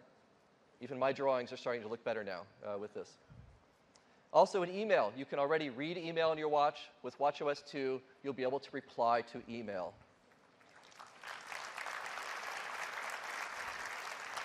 And with the phone, you can already take phone calls on your watch. We're now going to support FaceTime audio, so you'll get really high fidelity calls right in your wrist.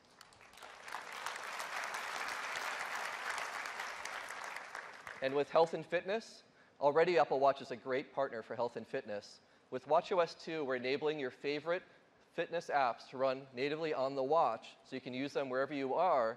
And your workouts with these apps will contribute directly to your all day activity, which would be really great. So if you go on a bike ride, it will count. We're also enabling Siri to start workouts. So you can just raise your wrist and say, hey Siri, start a 30 minute run in the park, and it will start the workout app and get it going for you. You can also do things like say, go for a 300 calorie bike ride, or go for a five mile run and it will just start the workout without you having to touch the watch at all. And when you achieve something, there's some beautiful new achievements that you'll see that look like this. They spin right in, they're beautiful, you can play with them in 3D on your watch, and they're engraved on the back now with your name. Uh, and you can share these with people over messages or face, Facebook or Twitter. Really cool health and fitness. With Apple Pay, uh, you saw some of the great new support we're bringing for store cards and rewards cards. We're supporting that in the watch. So you can select a store card and use it right in your watch at a merchant terminal just by waving it in front of the, the store stand there. And then with a wallet coming to watch, all of your rewards cards will be right there. And you can also use those right from your watch as you're doing purchases. With transit, we're supporting, of course, the mass transit capabilities and maps now. So you'll be able to see the transit lines on your wrist. You can actually see the departure times for different stations you're near. And when you're navigating, you'll get step-by-step directions about getting through the different mass transit that you use. With Siri, we're continuing to add new domains for Siri. In WatchOS 2, we're enabling Siri to get you mass transit directions, like bus directions to the ferry building, which will look like this, and you can just start navigating. Uh, or you can control things in your home with Siri. So you can say things like, hey Siri, set the dinner scene, and it will talk to any HomeKit-enabled devices in your house and set the lights just how you want them. Is that cool? It's going to be great. Another great thing is you can actually ask for any of the glances you have. So you can say, hey Siri, show me the Instagram glance, and it will show up right in your watch face. And this could be a glance you don't even have currently selected. It's a great way to show information from third-party apps right there in Siri. So those are just some of the highlights of what's coming in watchOS 2. We think it's going to be a really, really great update to the watch. Now that's not all. We also, of course, focused on what we can do for developers. And already, uh, out of the gate on day one, you could build apps for Apple Watch using something called WatchKit. And that has enabled over uh, many thousands of apps now to be created for Apple Watch. And these apps today function by relying on your phone. So you might have, for example, an app on your watch, and the user interface runs on your phone, and the user interface is on your watch, but all the logic for your app today runs on your phone. Well, with native apps, you'll be able to actually move that logic to the watch so both the UI and the logic are there, all run locally. Performance will be great. Responsiveness will be great. It's going to be a great new frontier for apps on Apple Watch with native app support.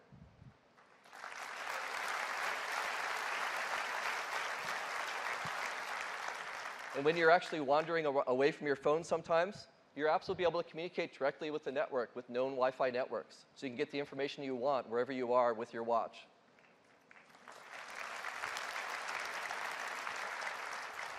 So we heard from you as we were working on native apps, a lot of feature requests of things you'd like to do on the watch. These are a bunch of the things that we've heard. Uh, so we've been listening to that, and let's go through some of the things that will be possible now in WatchOS 2. We can see how we did on this. So one of the things we heard was really want to access the microphone on the watch. So yes, in WatchOS 2, you can access the microphone right on the watch and bring that audio right into your app. We also heard you wanted to play audio out of the speaker. You can do that. WatchOS 2 with native apps, you can play back through the watch speaker, or you can play audio to a Bluetooth headset or speaker connected, both short form and long form audio. Video, we know you want to play video. You can play back short form video right on the watch face. It looks beautiful on the watch display. Access to HealthKit. We've definitely heard that. You now will have access native HealthKit on the watch, including streaming heart rate data. So if you're doing, for example, a bike ride with Strava, you can see what heart rate zone you're in while you're biking.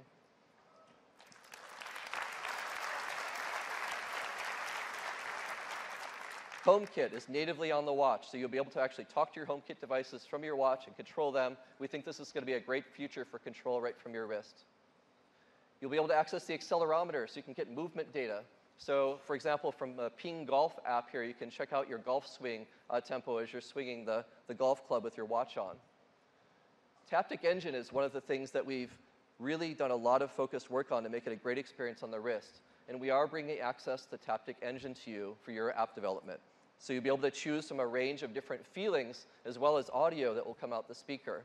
So for example, if I'm unlocking my car here, I'll get feedback on my wrist, both audio and, and felt, just like that. Another great interaction on the watch is using the digital crown to manipulate the UI. And we're enabling access to digital crown as well with WatchOS 2. So you'll be able to control a custom UI element like changing the temperature here just by rotating the crown like this. Super easy way to interact with your watch.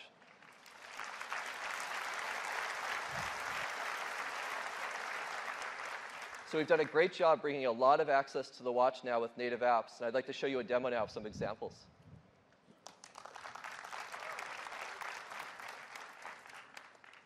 So I've got a watch here, and um, I'm just going to put it on. And it's connected to the display here through this little cable. All right. So let's start by looking at um, three examples of new features in WatchOS 2, and then I'll show you three apps. Let's start with uh, making a photo face. So I'll just press my digital crown here, go to the home screen, and there's my photos. You can see I've got a bunch of photos on here. I can zoom in with the crown and pan around, and I can pick a photo that might make a nice watch face like that one. But I want to zoom in and crop it a little more, so I'm going to zoom in a little bit more and move it over like that to get it just right. I think that's going to make a great watch face. So I just force touch, choose Create Watch Face, and there you go, a beautiful new watch face.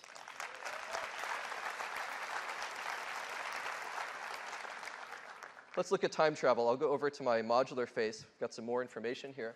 So I've got flight times here on United. You can see the temperature, my VW car's charge level, and time in London. So I just rotate the crown here, and I can go forward in time. You can see time's updating. Now my flight's leaving, you can see at 1:45, and I wonder if my charge level will be enough to get to the airport. So if I just keep going forward in time here, we'll get to 1:45, and you can see my charge level is just going to be great to get to the airport. And in fact, you can keep going and look at boarding time and arrival time for your flight. So you can get a great preview of your day just by rotating the crown right on the watch face. It's a lot of fun. Just press the crown and go back to home. Now, if you get an email, you can reply to email now in WatchOS 2.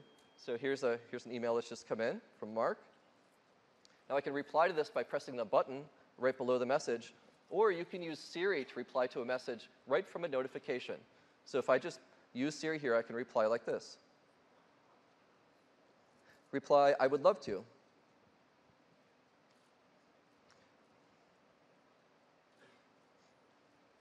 So Siri is uh, making the message there. It's created a response. I just press send, and it now goes off to Mark. So just by pressing the crown, you can use Siri to send a message right from your wrist. Now let's look at a few third-party apps. So let's look at the VW app you saw in slides a second ago. And I'll show you how that works. Here it is. Now I can lock my car just by pressing this, this control right here. Responds right away. You can see the app also opened very quickly. And I can control the temperature here that we were looking at before by just rotating the crown. You can see how responsive it is as I go up and down through temperatures here. Really, really cool. I'll get it nice and warm for me so when I go down there, it'll be nice and toasty. Okay, turn it on. All right, I've got confirmation that it actually enabled that on my car now. Now, access to the mic is going to be really helpful in apps. And some of the apps that will really benefit are communication apps like WeChat. A lot of messages sent uh, via WeChat are actually audio messages. So let's see how that'll work now with WatchOS 2. See, I've got some messages here. There's one from Becky. And I can reply here just by pressing the reply button. And you can see I've got a microphone now, so I can do an audio response. Let's do that. That sounds great. So you can see as I was recording it, it got the audio levels of my voice, and now it sent that to Becky. I can also reply with stickers here. There's different categories of them. And with the digital crown now, being able to connect to your UI, I can just flip through recent uh, stickers and pick one quickly that I like, and then just send that one as well. So very fast to interact now uh, with all these new controls you have available in WatchOS 2. Now let's look at the Vine glance. Uh, Vine is a great example of playing back video on the watch, and uh, its format is really perfect for the watch face. So here's a recent one on Vine.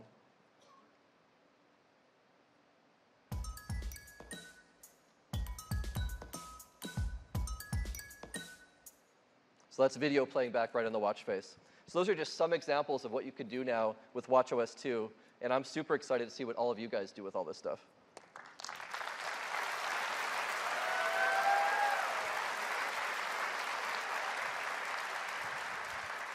So some great new enhancements coming, as well as some super powerful app development tools for you. And we've been working really hard on this, and I'm really happy to say that this stuff is all available to you today to start building these native apps. Just six weeks from our launch. It's unbelievable. And then it'll be available in the fall to everyone, and we'll work across all the watches, of course, and it will be free. So this has been a great adventure. We're just getting started here, and I'm really looking forward to the journey ahead with all of you on Apple Watch. Thank you very much. Back to Tim. Thank you, Tim. Thanks, Kevin. We're really excited to have Apple Watch out in the world, and we can't wait to see what you do with the Watch OS. And we couldn't be more excited about how developers and users will use this powerful ecosystems of both products and platforms. Three amazing platforms. The opportunities really are limitless. Now, before we close this morning, we do have one more thing.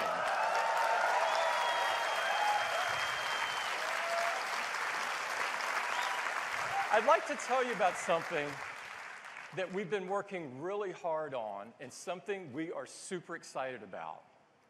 You know, we love music. And music is such an important part of our lives and our culture. We've had a long relationship with music at Apple, and music has had a very rich history of change, some of which we played a part in. We've made a great video about the history of music, and I'd like to play it for you this morning.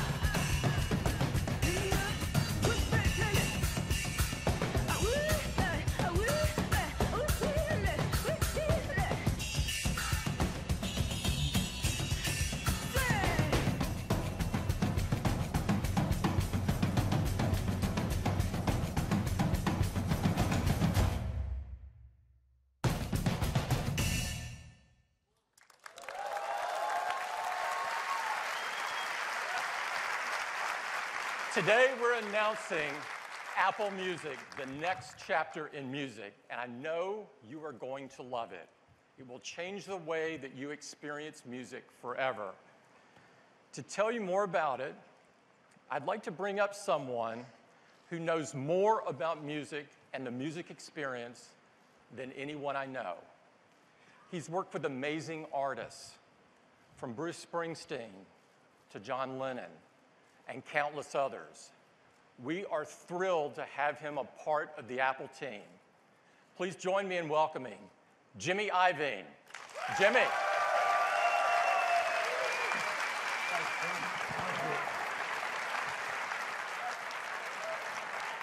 Thanks, Tim. Wow, it's really an honor to be here. I'm here because in 2003, the record industry was a ball of confusion. We had Napster, we had LimeWire, we had BitTorrent, this giant invader from the north, technology. I'm looking at my guys saying, well, what do we do with this? So I go up to Apple and I see Steve Jobs and Eddy Cue, and they showed me something brilliant and groundbreaking a simple, elegant way to buy music online iTunes. I'm like, wow, the ads are real. These guys really do think different. So they could help move culture the same way that art moves culture. Technology and art can work together, at least at Apple. So now, 2015, music, music industry is a fragmented mess.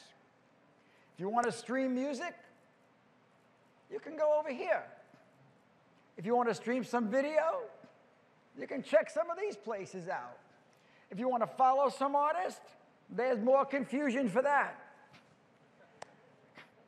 So, so I reached out to Tim Cook and Eddy Cue, and I said, guys, can we build a bigger and better ecosystem with the elegance and simplicity that only Apple can do?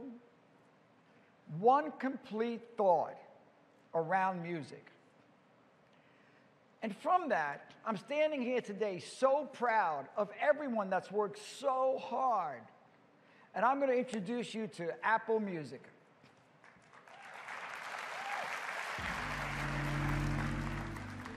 Music has such power in our lives. The way we listen to and experience music is undergoing a profound change these days. To have access to nearly all the music in the world at our fingertips and in our pockets is remarkable. And yet, there needs to be a place where music can be treated less like digital bits and more like the art it is, with a sense of respect and discovery. And if that place could actually accommodate and support the artists who make the music, not just the top tier artists, but the kids in their bedrooms too, provide them all with a home and a way to engage with their audiences, that would be pretty great. And that's what we set out to do with Apple Music.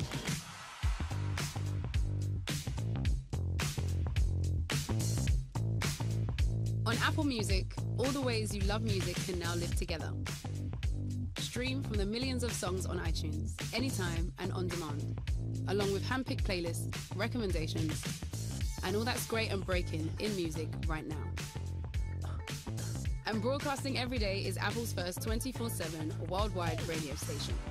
Live in over 100 countries, Beats One is anchored by Zane Lowe in LA. Beats One worldwide, always on. Ebro Darden in New York. New York City worldwide, this is Beats One. And me, Julie Adenuga, out of London. We cannot wait to play you guys some music we've got lined up. Some wild exclusives. And at the heart of Apple Music, there's Connect, where artists can share with fans like never before.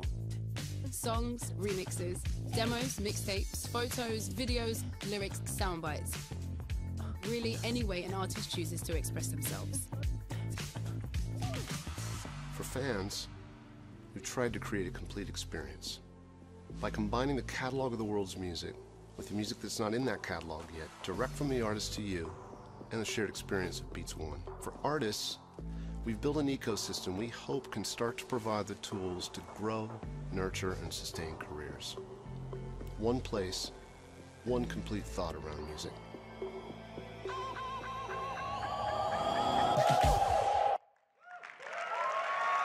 Thank you. And that's Apple Music and the great Trent Reznor. It's all the ways you love music all in one place.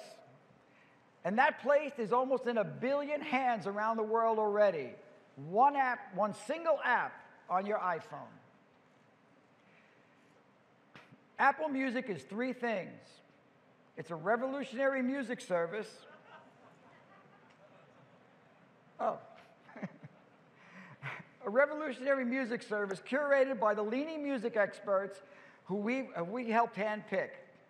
These people are going to help you with the most difficult question in music. When you're listening to a playlist, what song comes next?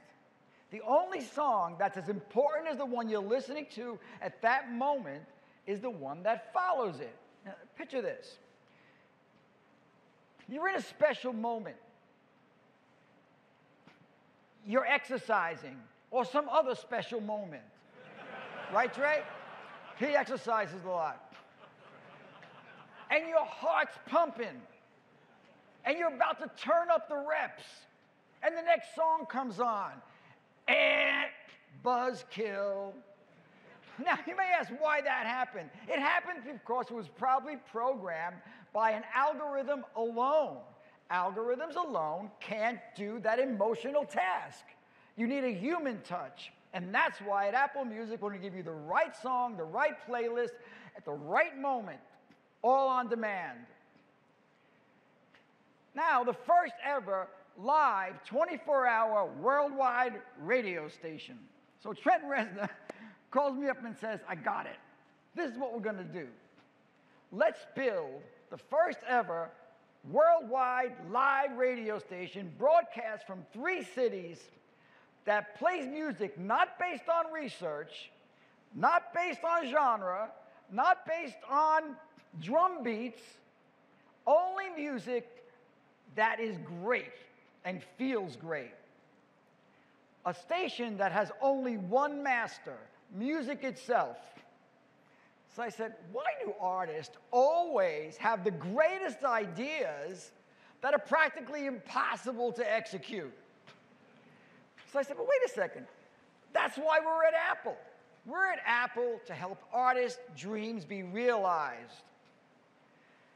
So we built the station, and it's a music lover's dream. If you love great music without any restrictions, you're going to love Apple Music's Beats One. Finally, Connect, a fantastic way for established and new and even unsigned artists to connect directly with music lovers anywhere. This is going to be very powerful for musicians. Can you imagine being an up and coming artist and being able to share your music on the biggest music platform in the world that people already have? Apple Music? Remember, this is an ecosystem. It's built to fit together. It feeds off each other. When you upload your music to Apple Music, anything can happen. So now let me leave that real heavy lifting to my great friend Eddy Cue and tell you how this all works together.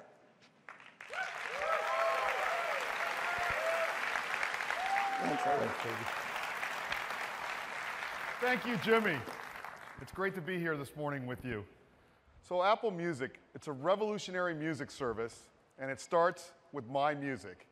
We've added some great new features from iTunes, like the Up Next queue, and also your recently added albums and songs right across the top, and all of the music you've purchased, along with the playlists you've created on your Mac or your iPhone, are right here. Now, of course, you can search your music library, but now you can search and stream the millions and millions of songs that we have on iTunes. Now, in addition to my music, when you can stream and listen to any song you want, you need a great place to start. And that's why we've created For You. For You recommends playlists and albums that we think you're going to love. They're personalized to your taste based on the music you listen to the artists you love. And it isn't just algorithms, it's recommendations made by real people who love music, and they're our team of experts. Now let's take a look at new. Here you'll discover new artists and albums every week, along with the top charts and every one of our playlists, all human curated, available by genre or by activity. So when you think of Apple Music, it's my music for you and new. It makes it fun and easy to experience the catalog of the world's music. And that is the revolutionary music service. Now let's talk about radio. The truth is, internet radio isn't really radio. It's just a playlist of songs. And so we wanted to do something really big. We wanted to create a worldwide live radio station broadcasting around the globe.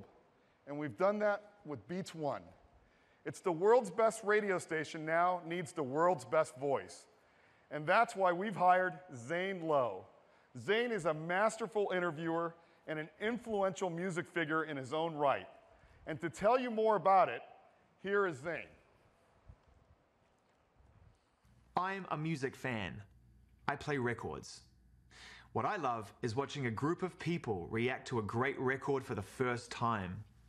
When I play that record on the radio, the audience tell me, the timelines light up. My friends tell me, my phone lights up. They love it or they hate it, but it creates a debate. That's what good music on the radio does. When Apple first asked me to be involved in this, they told us to put the great music in front of the average, the unexpected, the undiscovered, the anticipated, the underrated. Their words move the needle. And that's what we're doing. We have real music fans running this place. We have great music DJs and incredible artists who are in the studio right now building real radio shows that are going to blow your mind. At the only place that can pull off an imaginative idea as big as this Apple. We're called Beats One. We're always on, playing the music that we love.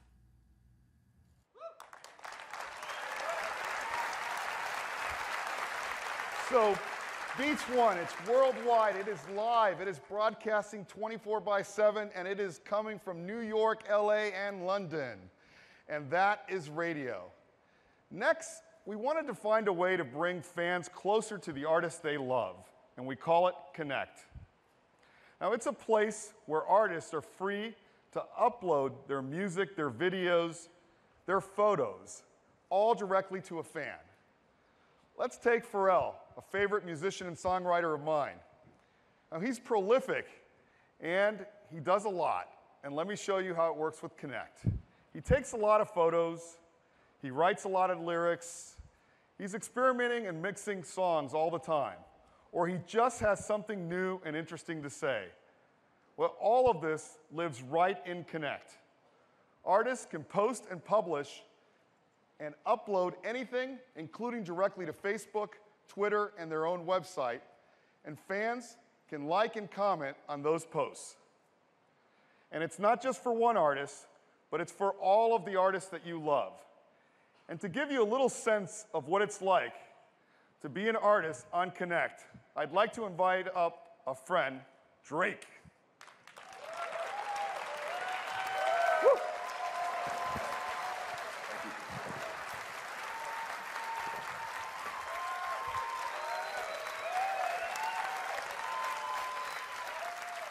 Thank you. I want to say, honestly, um, what an honor it is to be in this room with so many individuals that have changed the way in which the world relates to technology. So give yourself a, a round of applause, please. For example, um, I bought this uh, vintage Apple employee's jacket using a uh, tool known in the rap world as the internet. It's going to be huge this year. It's out of this world. He's excited. He knows about it. That guy right there. No, um, honestly, in all seriousness, I came here today to share my story about the way technology changed what I do for a living. Um, I'm from Toronto, Canada.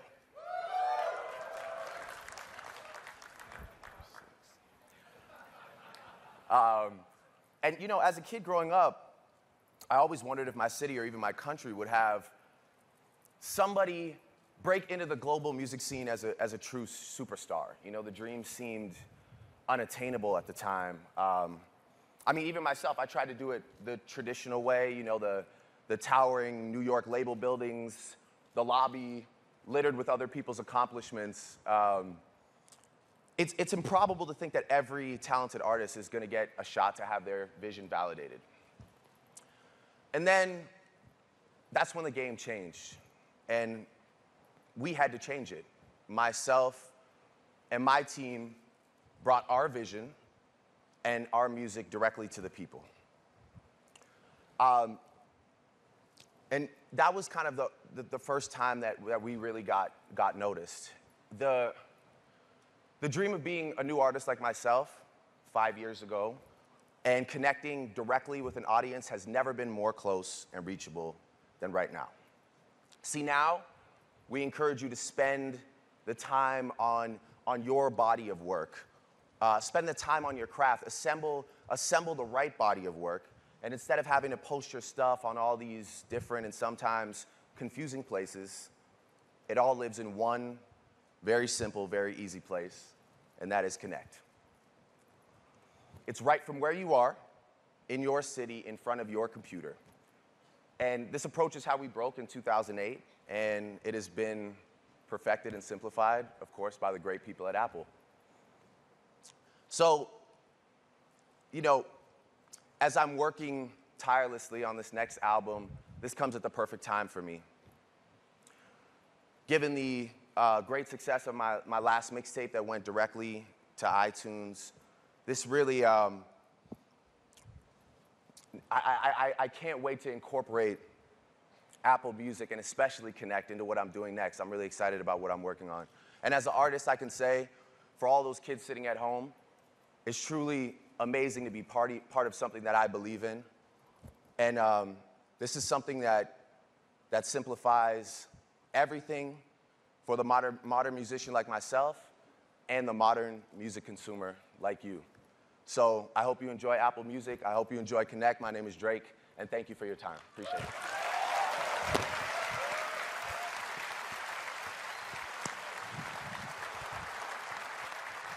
Thank you, Drake. And that is Connect. Now, I'd love to give you a demo of Apple Music, but before I start, I do want to wish Phil Schiller a happy birthday. Oh!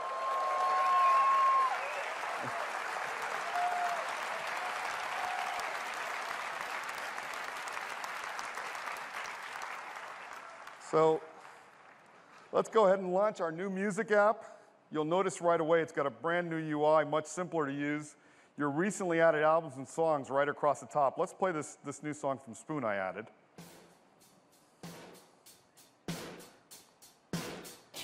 One of the things you'll notice, we have a new mini player across the bottom that always shows you what's playing. And if I tap on it, I get full screen and I can see the beautiful artwork, all the playback controls. I can just swipe down, and it disappears.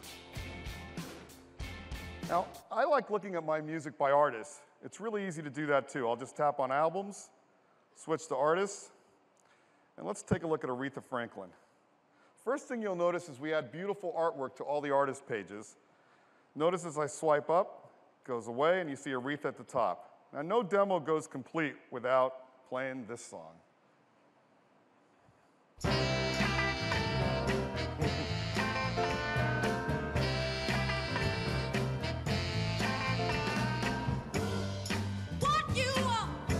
Now, you not only get all of your Aretha Franklin songs in your music library, but you can also tap on all, and now you can see all of the songs on Apple Music, including the latest release, what the top song is, what the top album is.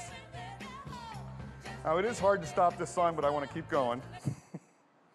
now, let's go back to my library, and let's take a look at my playlist. Now, despite the game last night, I'm getting ready for tomorrow night, and I've already started creating my playlist. One of the first things you'll notice is we can add your own artwork to your playlist. And I'm going to be doing this tonight, getting the Warriors ready. But let's go back. It is karaoke night. And uh, these are some of the songs that uh, our team has uh, to look forward to tonight. Let's go ahead and play that. Just imagine.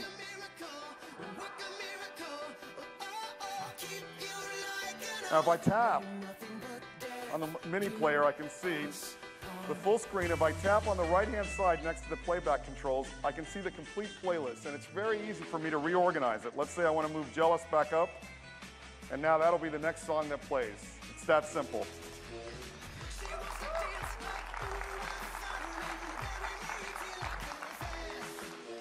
Now that's great.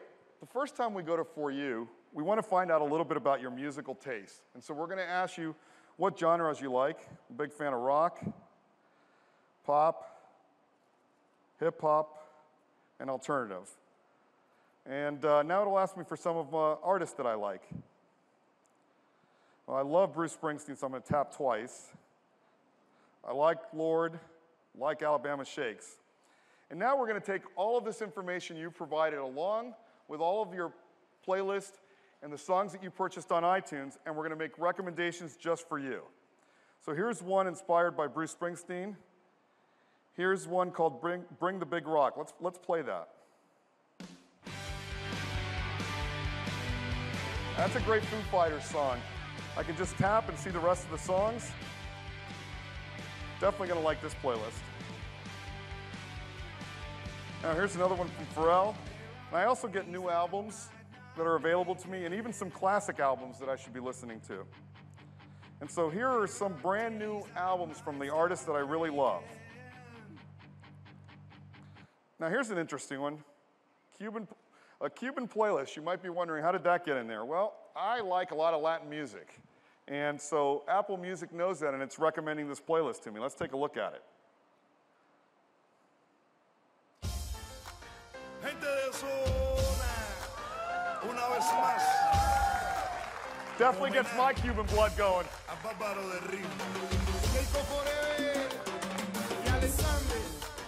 Now this is a playlist I definitely want to keep. So I'm going to tap on the plus sign, and I've added that now to my playlist. Now let's take a look at what's new. You can see new albums across the top, more here, and even the hot singles that are out. Let's play this one from Florence and the Machine.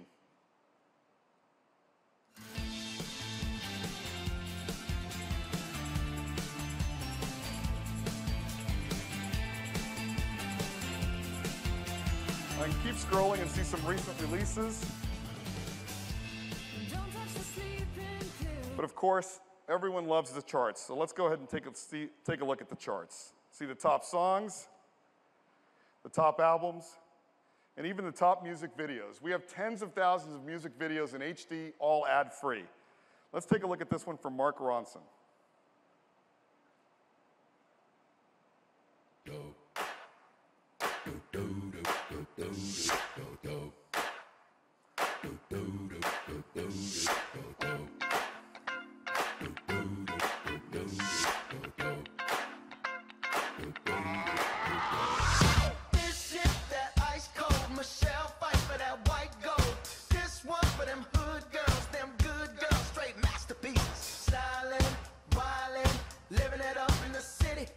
I got to work on some of those moves for next year.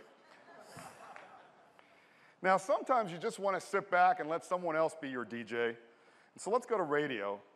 And to give you a little taste of what Beats One is going to sound like.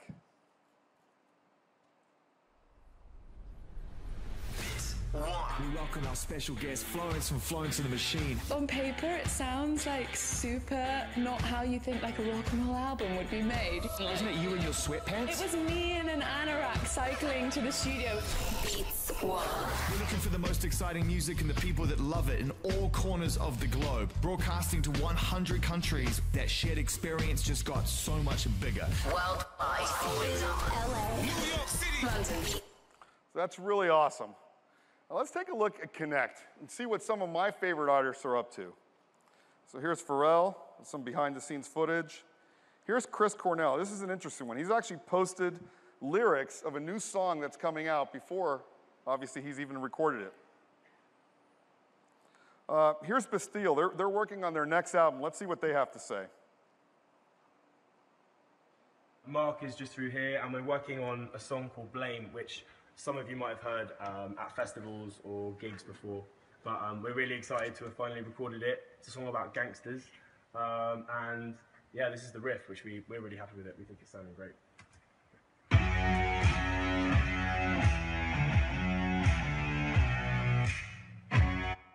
It's great to be able to get behind the scenes and see what the process that an artist uses to create a song. As we keep going down, here's a, a shot from Alabama Shakes a couple nights ago. And here's the studio session, actually at Capitol Studio A. Those of you that know, Capitol Studio is one of the premier studios in historical, and uh, Alabama Shakes was just there a couple nights ago.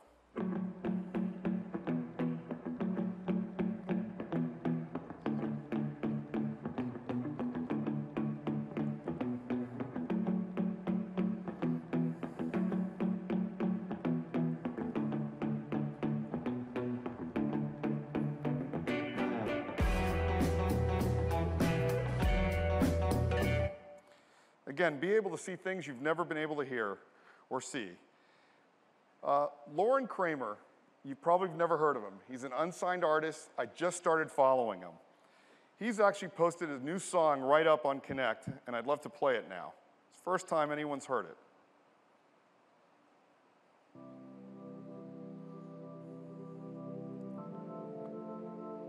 Just imagine you're a new artist and look at all the people you've been able to, able to hear this song right now thanks to Connect. Don't go saying it's gone. Don't go saying you're done. So, Lauren Kramer, remember that name. We think he's going to be really, really huge. Now, of course, you can always search for music across all of our millions and millions of songs, but I like to do a little bit of stuff with Siri, because Siri's been learning a lot more about music. Play Born to Run.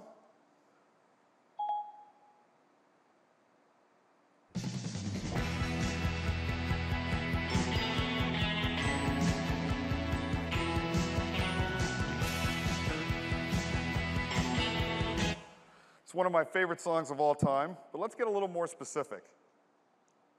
Play the top 10 songs in alternative.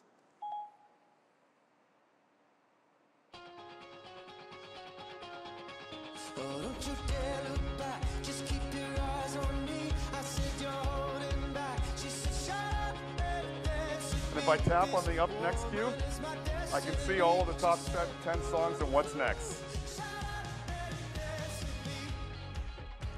Now, I feel like reminiscing a little. And let's go back to my high school days when I graduated. Play the top song from May 1982.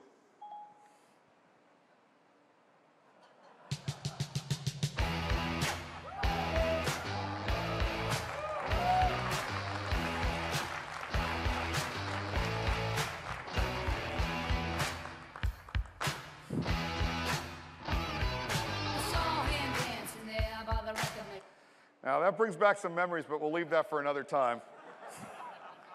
now, have you ever gone to a movie and you love the soundtrack or the song that was on there, but you don't know the name or you've forgotten about it later? Well, it's really easy with Siri. Play the song from Selma.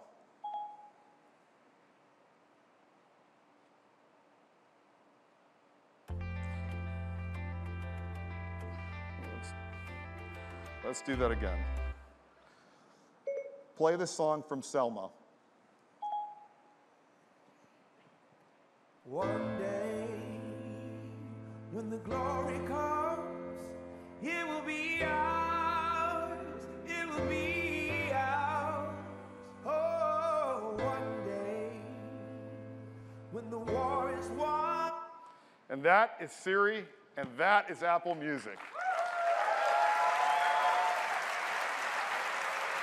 It is a revolutionary music service with recommendations just for you, a worldwide live radio station with the world's best DJs, an exciting way for fans to connect with artists, and of course, this is joined by the iTunes Music Store, the best place to buy music. Apple Music is all of the ways you love music all in one place. And we're launching in over 100 countries later this month with iOS 8.4 for your iPhone, iPod Touch, and iPad, as well as a new version of iTunes for the Mac, a new version of iTunes for Windows, and Android is coming this fall. Now, Apple Music will be just $9.99 a month, the cost of an album. And we want everyone to try it, and so we're making the first three months free.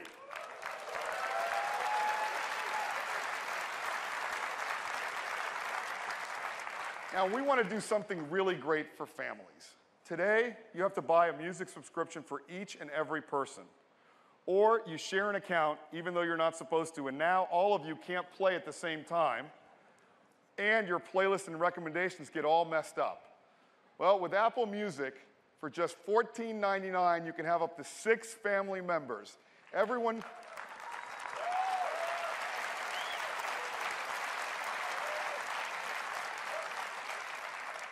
Everyone gets their own account, their own library, their own recommendations. It's an incredible value. And that is Apple Music. Thank you. Turn it back to Tim. Thanks, Eddy. Isn't that amazing? We really love Apple Music, and we hope that you do too. And we're so excited about it, and with all the countries we're rolling out to, we made a great ad to tell the world about it. And I'd love to run it for you now. This is Zane Lowe Beats One.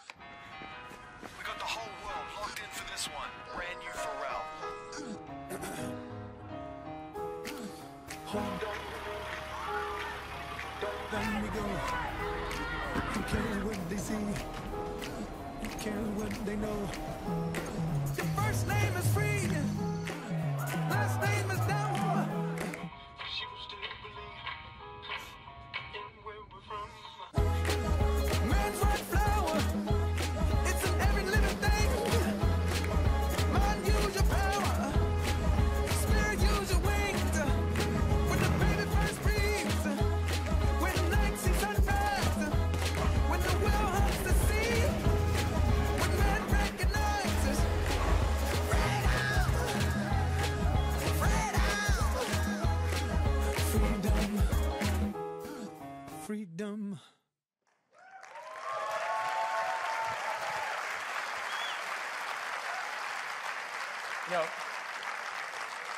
music connects with us all at such a deep emotional level. We couldn't be happier to launch Apple Music.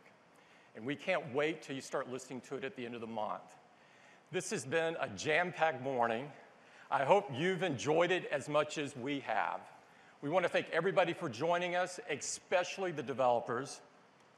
And I'd like to recognize all of the people in Apple, all of our team that have worked so hard on making and creating all of these products you've seen this morning. Thank you guys.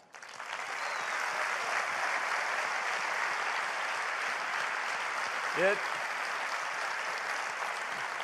it is an incredible privilege of a lifetime to work with them.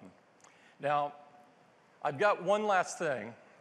Before we go, it's only fitting to celebrate the launch of Apple Music with an incredible music performance by the, one of the hottest new artists in music today. And it's not only a hot new artist, but he's going to do a worldwide premiere of his newest song this morning. Please give it up for the Weeknd.